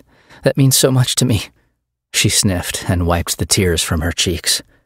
Dwayne's words calmed her heart rate a bit, helping her gather the strength needed for the next part of her confession. Her eyes locked onto Derek's. I'm sorry to do this in front of other people, but there's not going to be a better time, and I can't see a better way. Besides, Jim and Dwayne need to know too, because they're the people we're going to have to rely on. They'll be able to help us. He nodded, but the tilted angle of his head and the look on his face signaled he wasn't entirely sure. Derek, she said, pausing to muster the last bit of courage she had remaining in her bones. I'm pregnant, and you're the father. What? Derek shrieked, sitting back in the chair like a gust of wind had just smacked him on the face. Jim grunted and shook his head. Dwayne let out a low whistle. Wow, not what I expected to hear. Me neither, Jim added, but that explains it. Yep, Dwayne added. Now we know why Nora was so pissed before. At least it wasn't the other thing we thought it was, Jim added. Dwayne nodded. That's one good thing, at least. But, Derek said, stammering, how? We only, uh, did it. I know, Derek, I know. But it happened, and now there's nothing we can do about it. Why didn't you say something? Derek asked, standing up. He raised his voice. Where did you go? Why did you go? Jim stood from the couch and put a hand on Derek's shoulder. Easy now, son. Sit. You can't be mad at her. Put yourself in her position. Put yourself in Dwayne's position. Think about Nora. You're way down on the list of who gets to be upset here. Derek shook his head and looked around the room, making eye contact with everyone. You're right, Jim. He sat back on the chair. I'm sorry, Em. I overreacted. It's just that, uh, I've missed you so much. I hate this. All of it. You being all secretive. Why can't anything be normal? Sweetie, I would have told you if I could. There just wasn't time. I took a home pregnancy test in the bathroom of the Burton Barr Library. It came back positive. I freaked out, and, well, then I went away. I can't control it. I'm sorry. It just happens. Don't be mad at me, okay? Derek nodded, though he did look confused. At least he was looking at her and engaged in the moment. Emily took another deep breath, then exhaled slowly, she was beginning to feel dizzy and flushed. I think I need to sit down for the rest of this. There's so much more I have to tell you, she said, pulling an ottoman across the floor. She plopped down in front of all three guys, who were now leaning forward in their seats. Okay, here goes. On the Saturday before Easter, in 1985, my mother and I were on our way to late night mass. We took a shortcut across a vacant lot, and when we did, um, I don't know any other way to put it, a ship just appeared out of nowhere. It was right above our heads, and it took my mom. Then it took me. It was like we were in that show, The X Files. Total craziness. Next thing I know, we were being tortured. Eventually, I managed to escape, but my mom was killed.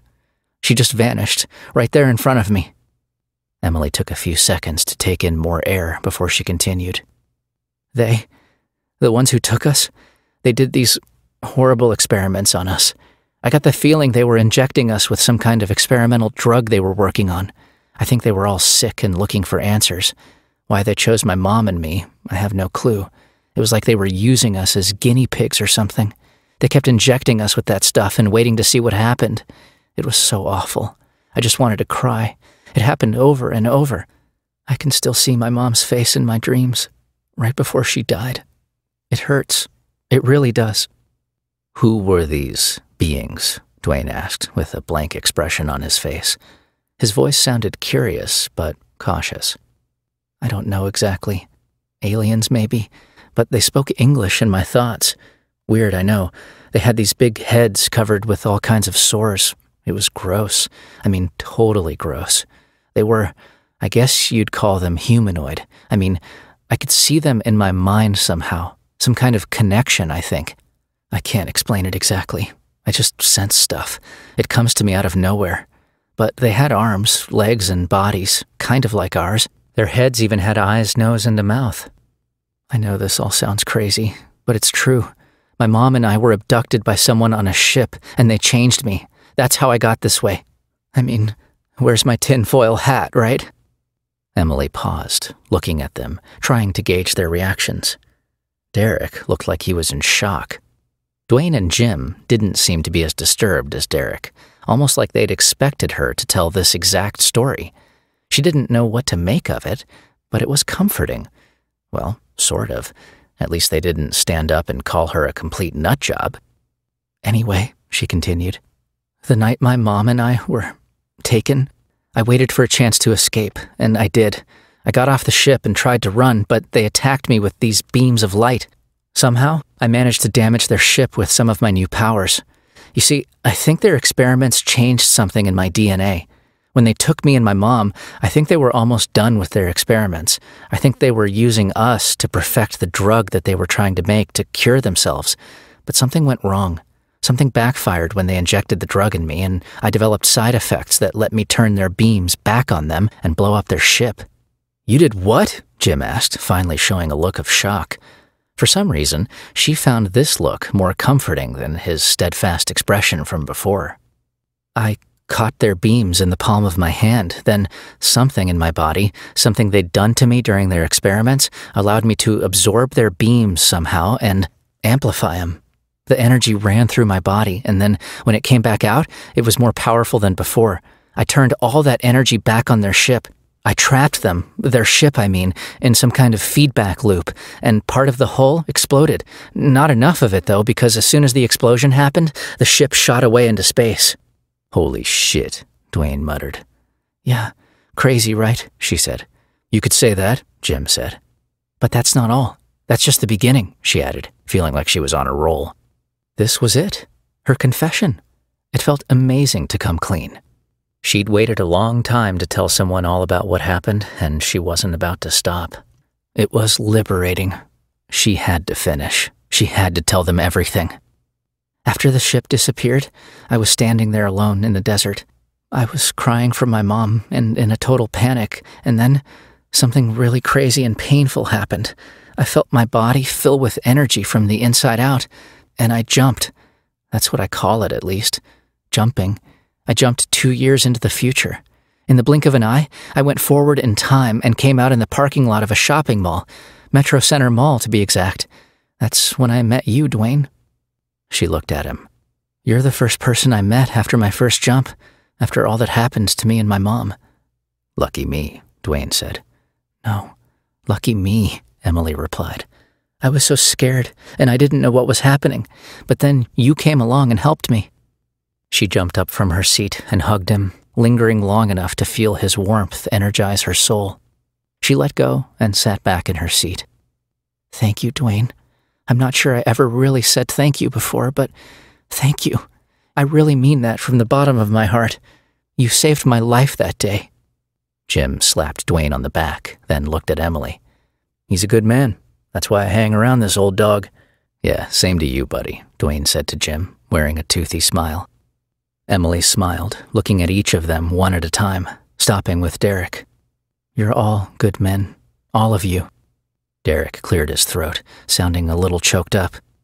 Sorry, Em. I didn't realize. Now I understand, and I'm sorry for being such an asshole all the time. Like today.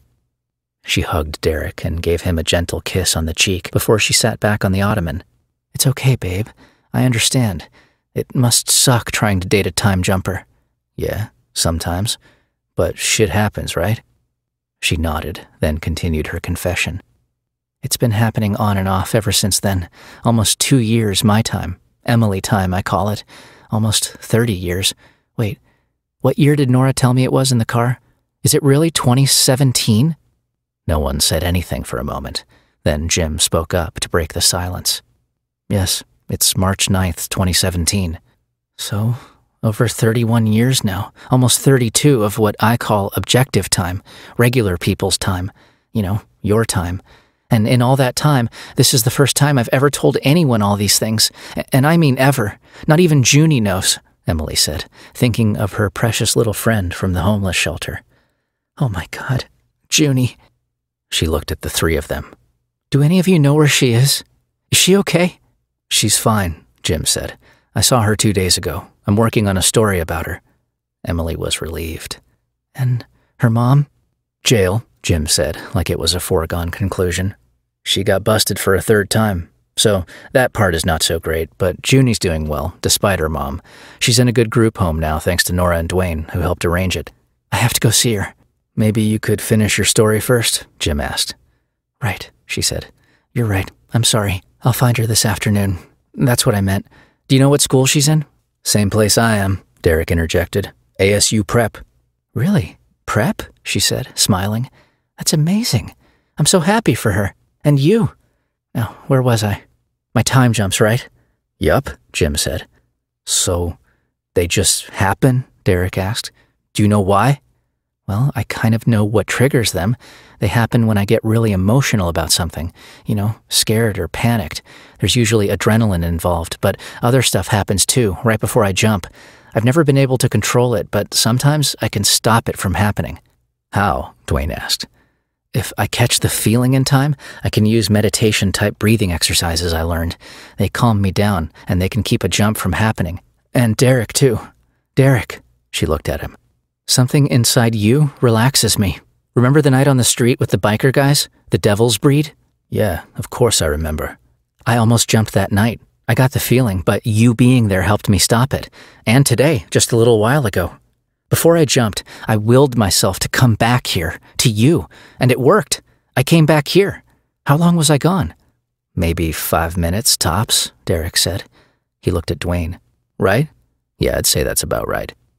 Emily, Jim said.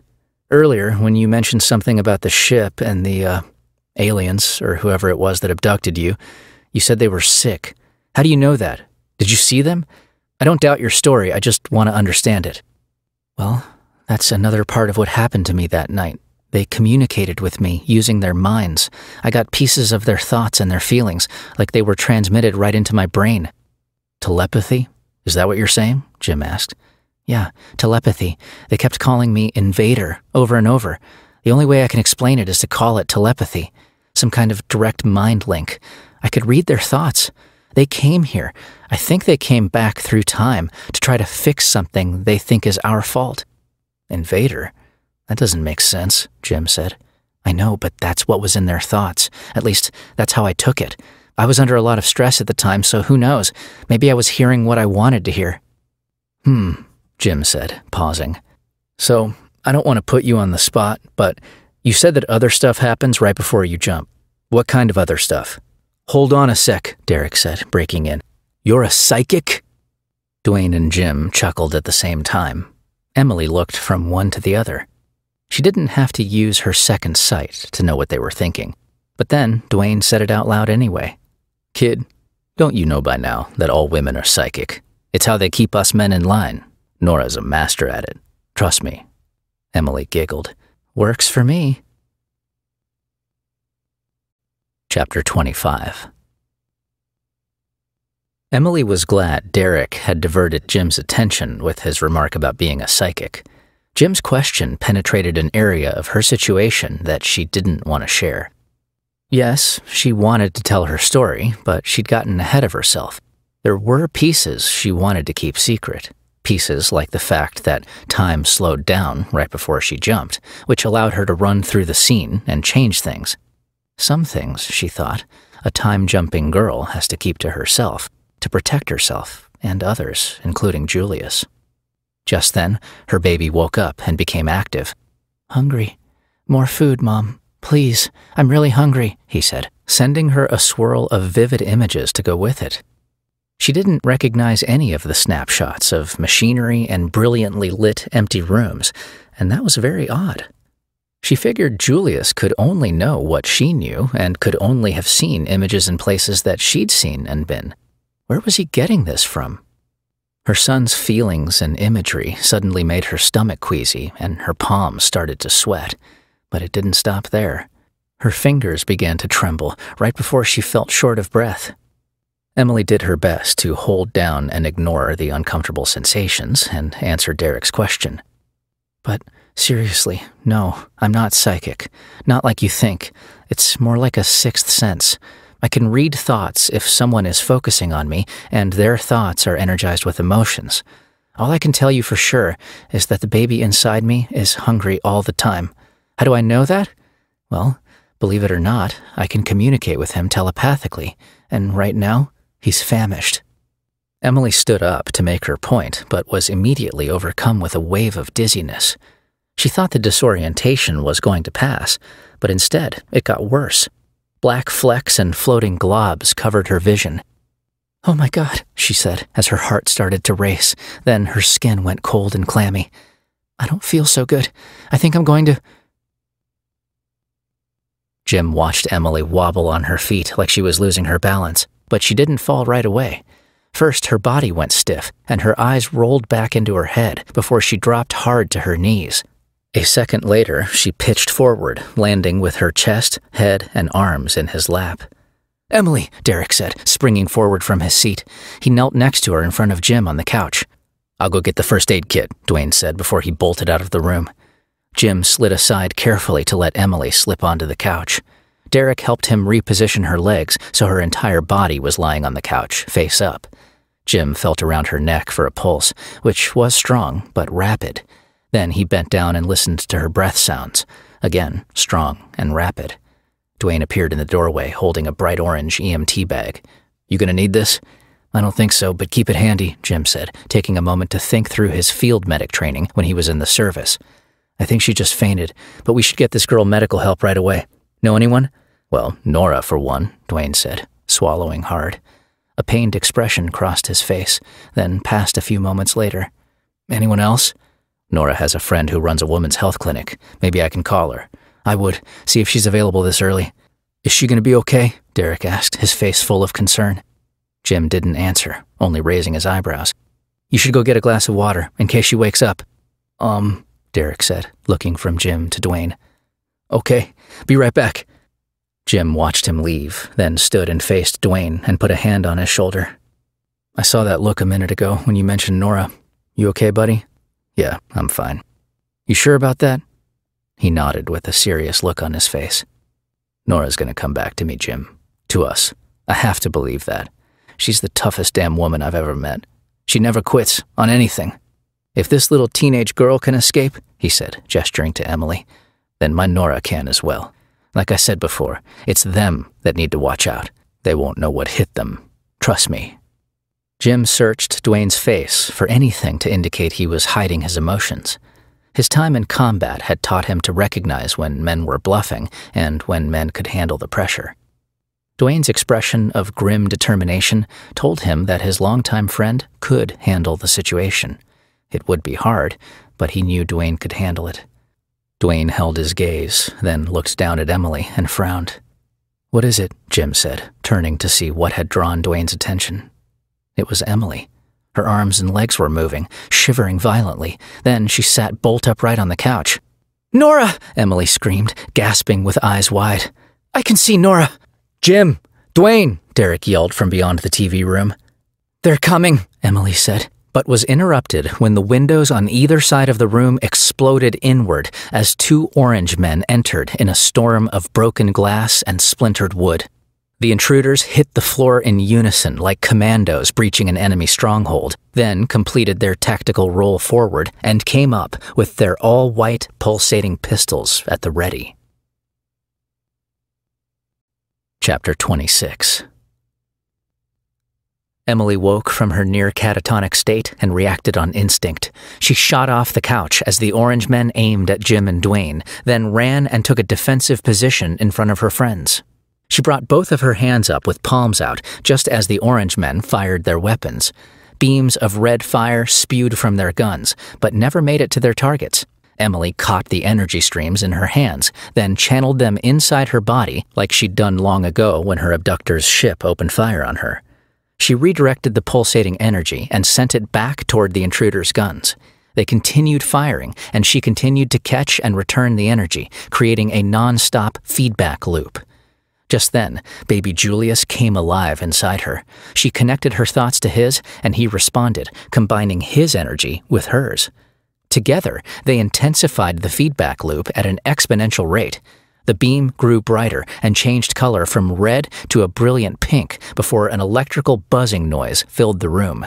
It grew louder and louder with each passing second until the orange men's weapons suddenly exploded, melting their gun hands off. They doubled over in pain as the feedback loop instantly stopped. Outside the room, there was more glass breaking and other commotion going on in front of the house. More intruders, she realized, knowing Derek was also in trouble and probably fighting for his life. Her friend Jim must have realized it too, because an instant later he said, Dwayne, go help Derek, now! He was using his commanding, authoritative voice, the same voice she remembered from the 4th Street shootout when he took out the gang members trying to kill them both. Jim stepped forward and pushed past her, pulling a sleek black pistol from a hidden holster inside the belt line of his pants. Emily watched him pump three rounds into Orange Man 1's chest, dropping him to the floor. Jim turned to the other assailant, but before he could open fire, the second Orange Man tackled him with a flying leap across the room.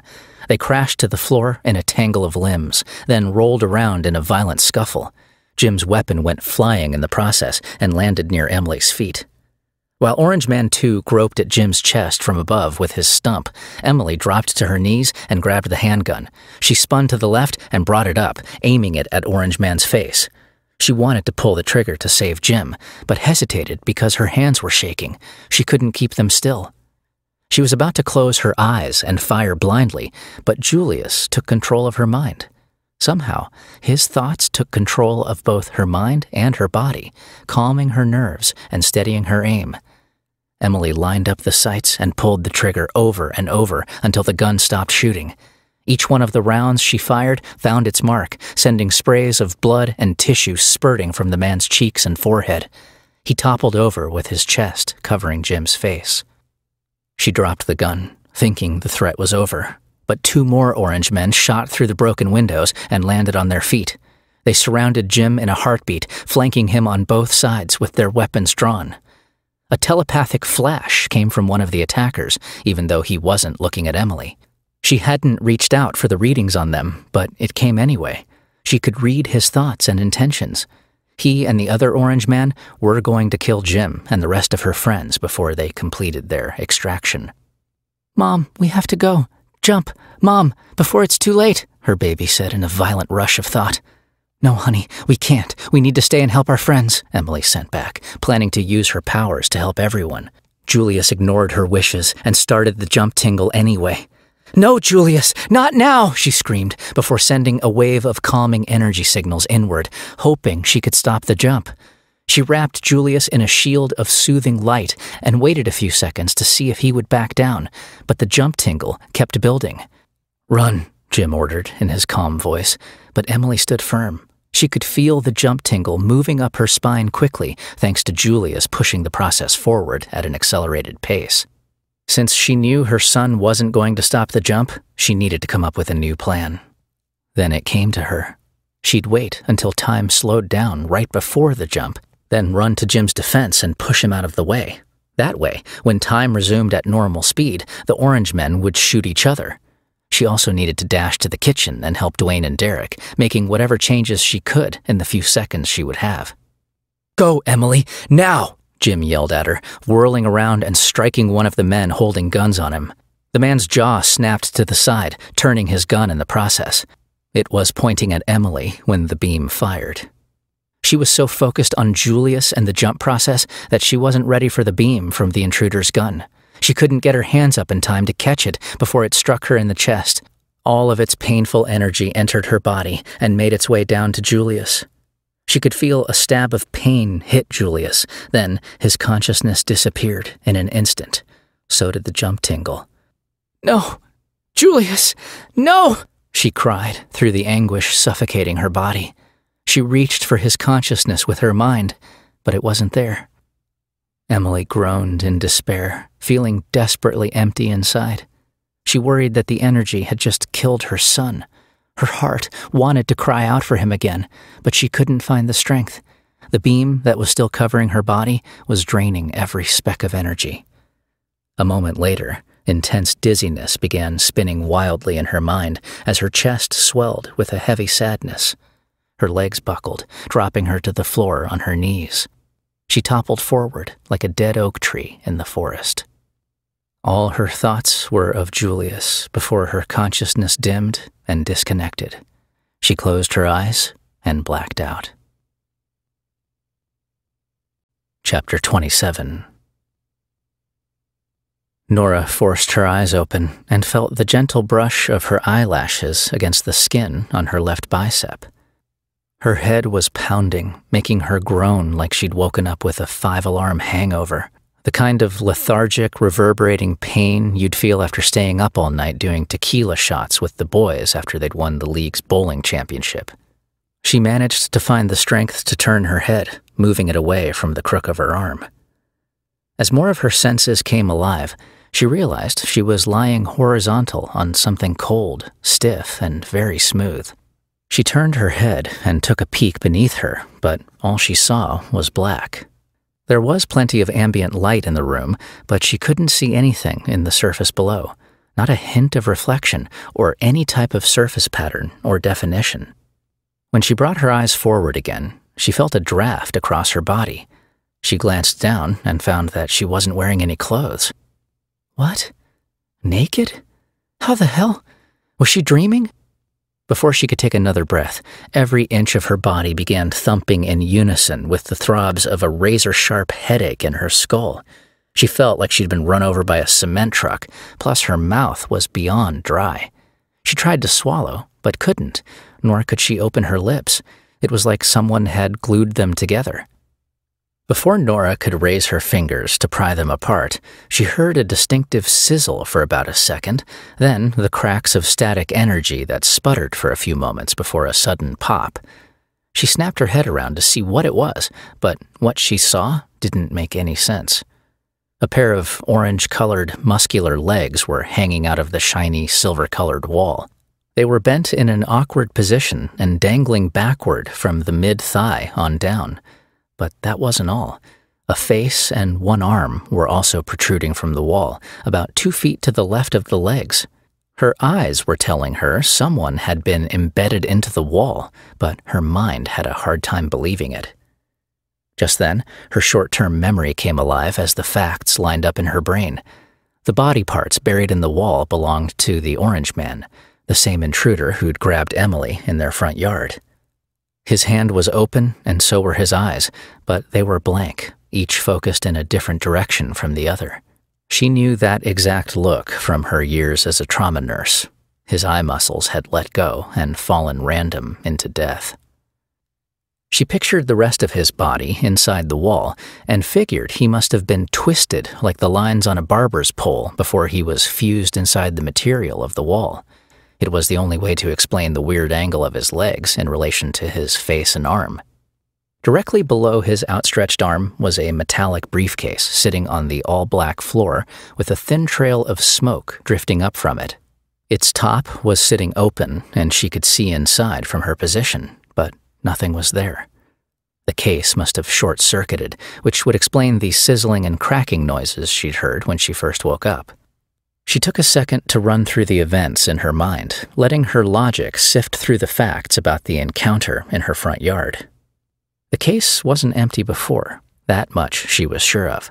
Even with only a glimpse of it while she was running, Nora remembered its shimmering surface was buzzing with energy in the moments before she knocked Emily free from the man's grip. After careful consideration, only one explanation presented itself when she'd flown into the Orange Man at full speed, the force of the impact and their combined weight must have thrown him off balance and into the wall upon arrival. Made sense. She was several inches taller and weighed almost twice as much as Emily. If Orange Man's technology was calibrated for Em's size and mass, then Nora's unexpected tackle may have sent him off course on his way here. Wherever here was, she thought letting her eyes take a full scan of the surroundings. This must have been where the Orange Man was taking Emily with his technology, some storage room. The room had rectangular containers in two of its corners, neatly piled high in eight stacks of eight. Except for her, the briefcase, and Orange Man hanging lifeless from the wall, that was all she could see. Three of the four walls in the room were the same silver colored metal, each of them brushed and polished like fine silverware.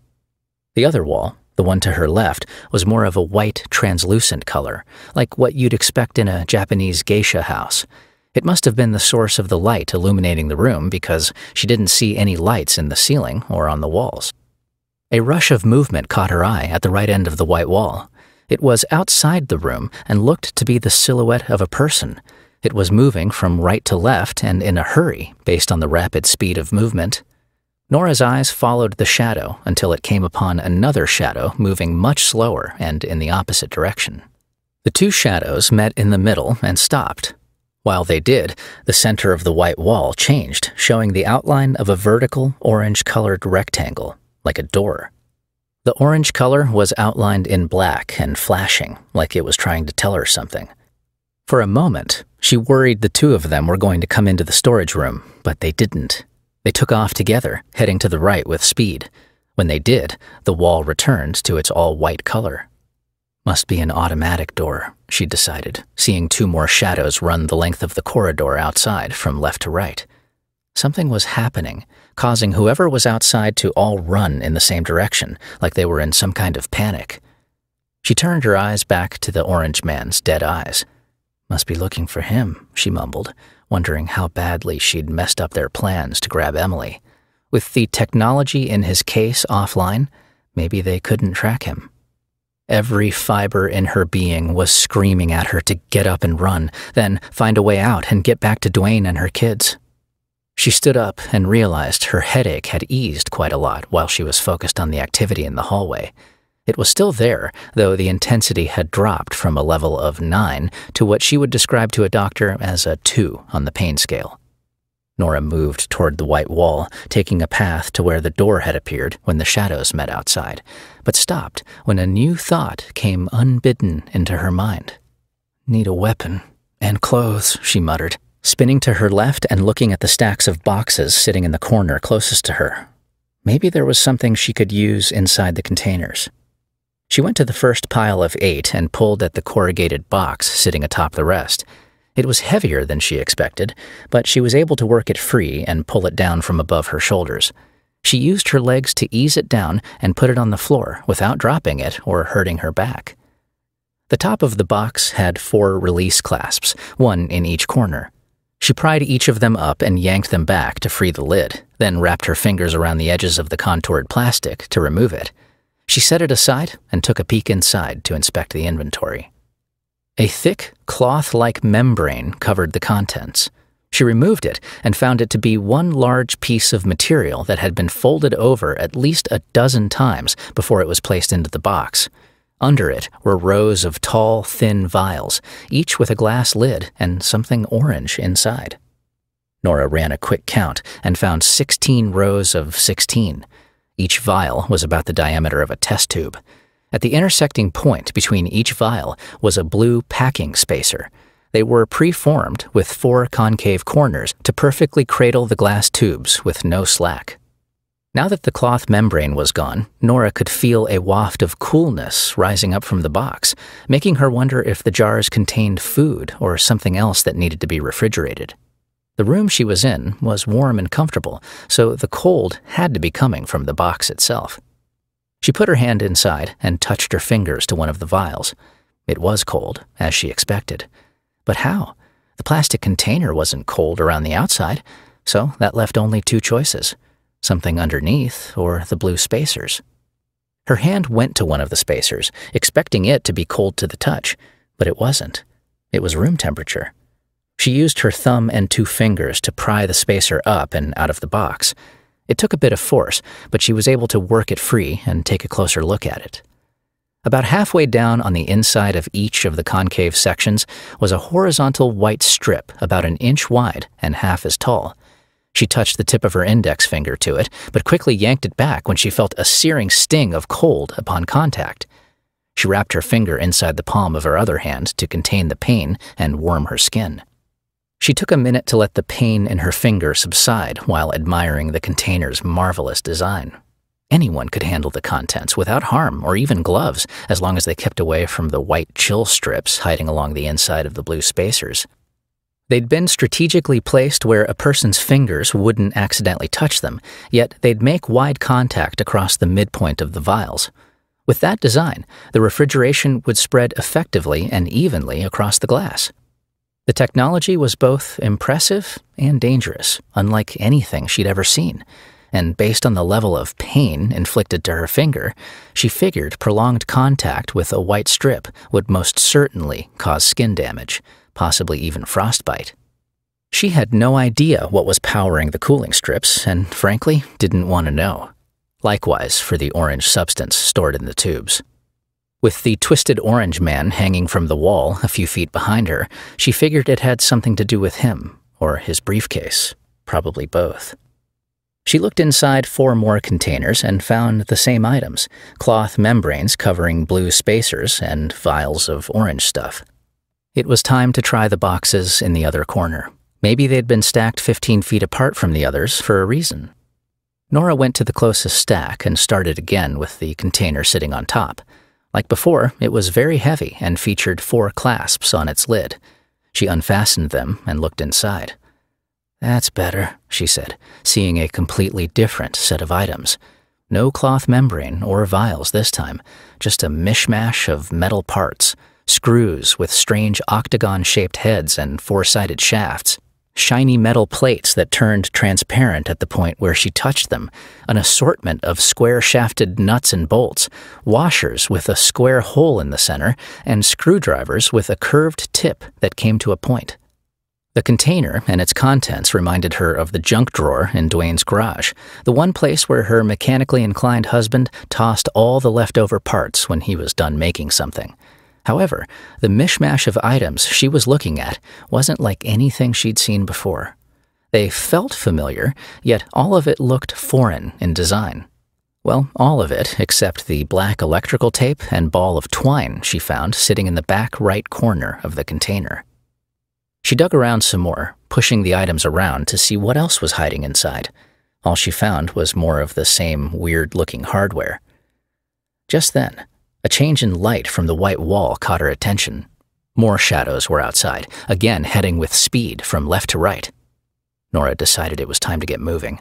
She grabbed one of the thin metal plates, the twine, and the weird looking screwdriver, then scurried back to the other corner and snatched the unfolded cloth membrane from the floor. She used the sharp edge of the thin metal plate to saw and cut a rudimentary hole in the center of the cloth, then brought it up and draped it over her head like a canopy. She stuck her face through the opening and let the material drop down around her body before fastening a makeshift belt with several wraps of the twine. Going commando underneath wasn't her first choice, but it would have to do. At least she wasn't stark naked. She brought the 12 inch screwdriver in front of her eyes while gripping its red handle tight in her hand. Should do the job, she said with clenched teeth, visualizing what would happen if someone tested her resolve to get home. Her medical training was about to come into play in a whole new manner. Knowing exactly where and how to bleed someone's neck would give her an advantage. That was assuming she could bring herself to jam the screwdriver into flesh. Nora headed for the center of the white wall. As she approached, the wall began to change shape like she'd seen before. The orange door appeared a second later, but she didn't see a doorknob or handle to grab. There weren't any hinges or a lock either. What the hell? The more she thought about it, the more it didn't make sense. Why reveal a sealed door with no way to open it? Maybe there was a secret code she'd need to enter to open it. But how? There wasn't a keypad or any other sign of technology. Then a new idea hit her. Perhaps the key to opening the door was a series of hand swipes, like what you needed to do across the screen of a smartphone to unlock the device. She brought her fingers up to make contact, but just before they touched the surface, the door dissolved in a slow moving ripple effect. All that was standing in front of her now was a clear path to the corridor outside. A smile washed over her lips, and her heart fluttered with a tinge of excitement. Time to go home, she thought, bringing her hand up with the screwdriver to lead the way. Nothing and no one was going to stop her from getting back to her family and Emily. Nora stuck her head out and around the doorframe, but she didn't see anyone. She stepped forward into the well lit hallway, where she stood for a few moments, checking both ends of the corridor. Which way? she mumbled, knowing the odds were 50 50 of picking the right direction. Left, she decided, wanting to avoid the area where all the shadows had been running to in a panic. She didn't know where she was or who she was dealing with, so stealth mode was going to be paramount until she figured out the answer to both questions. Hey, it's Emily. That's a wrap on part two of this book. There's only one more installment to go to finish up this trilogy. Hopefully, Nora will get back home safely. If not, there's going to be some serious carnage along the way as the Nora train gets rolling. They have no idea who they're dealing with. Trust me, it's going to be biblical, and not in a good way.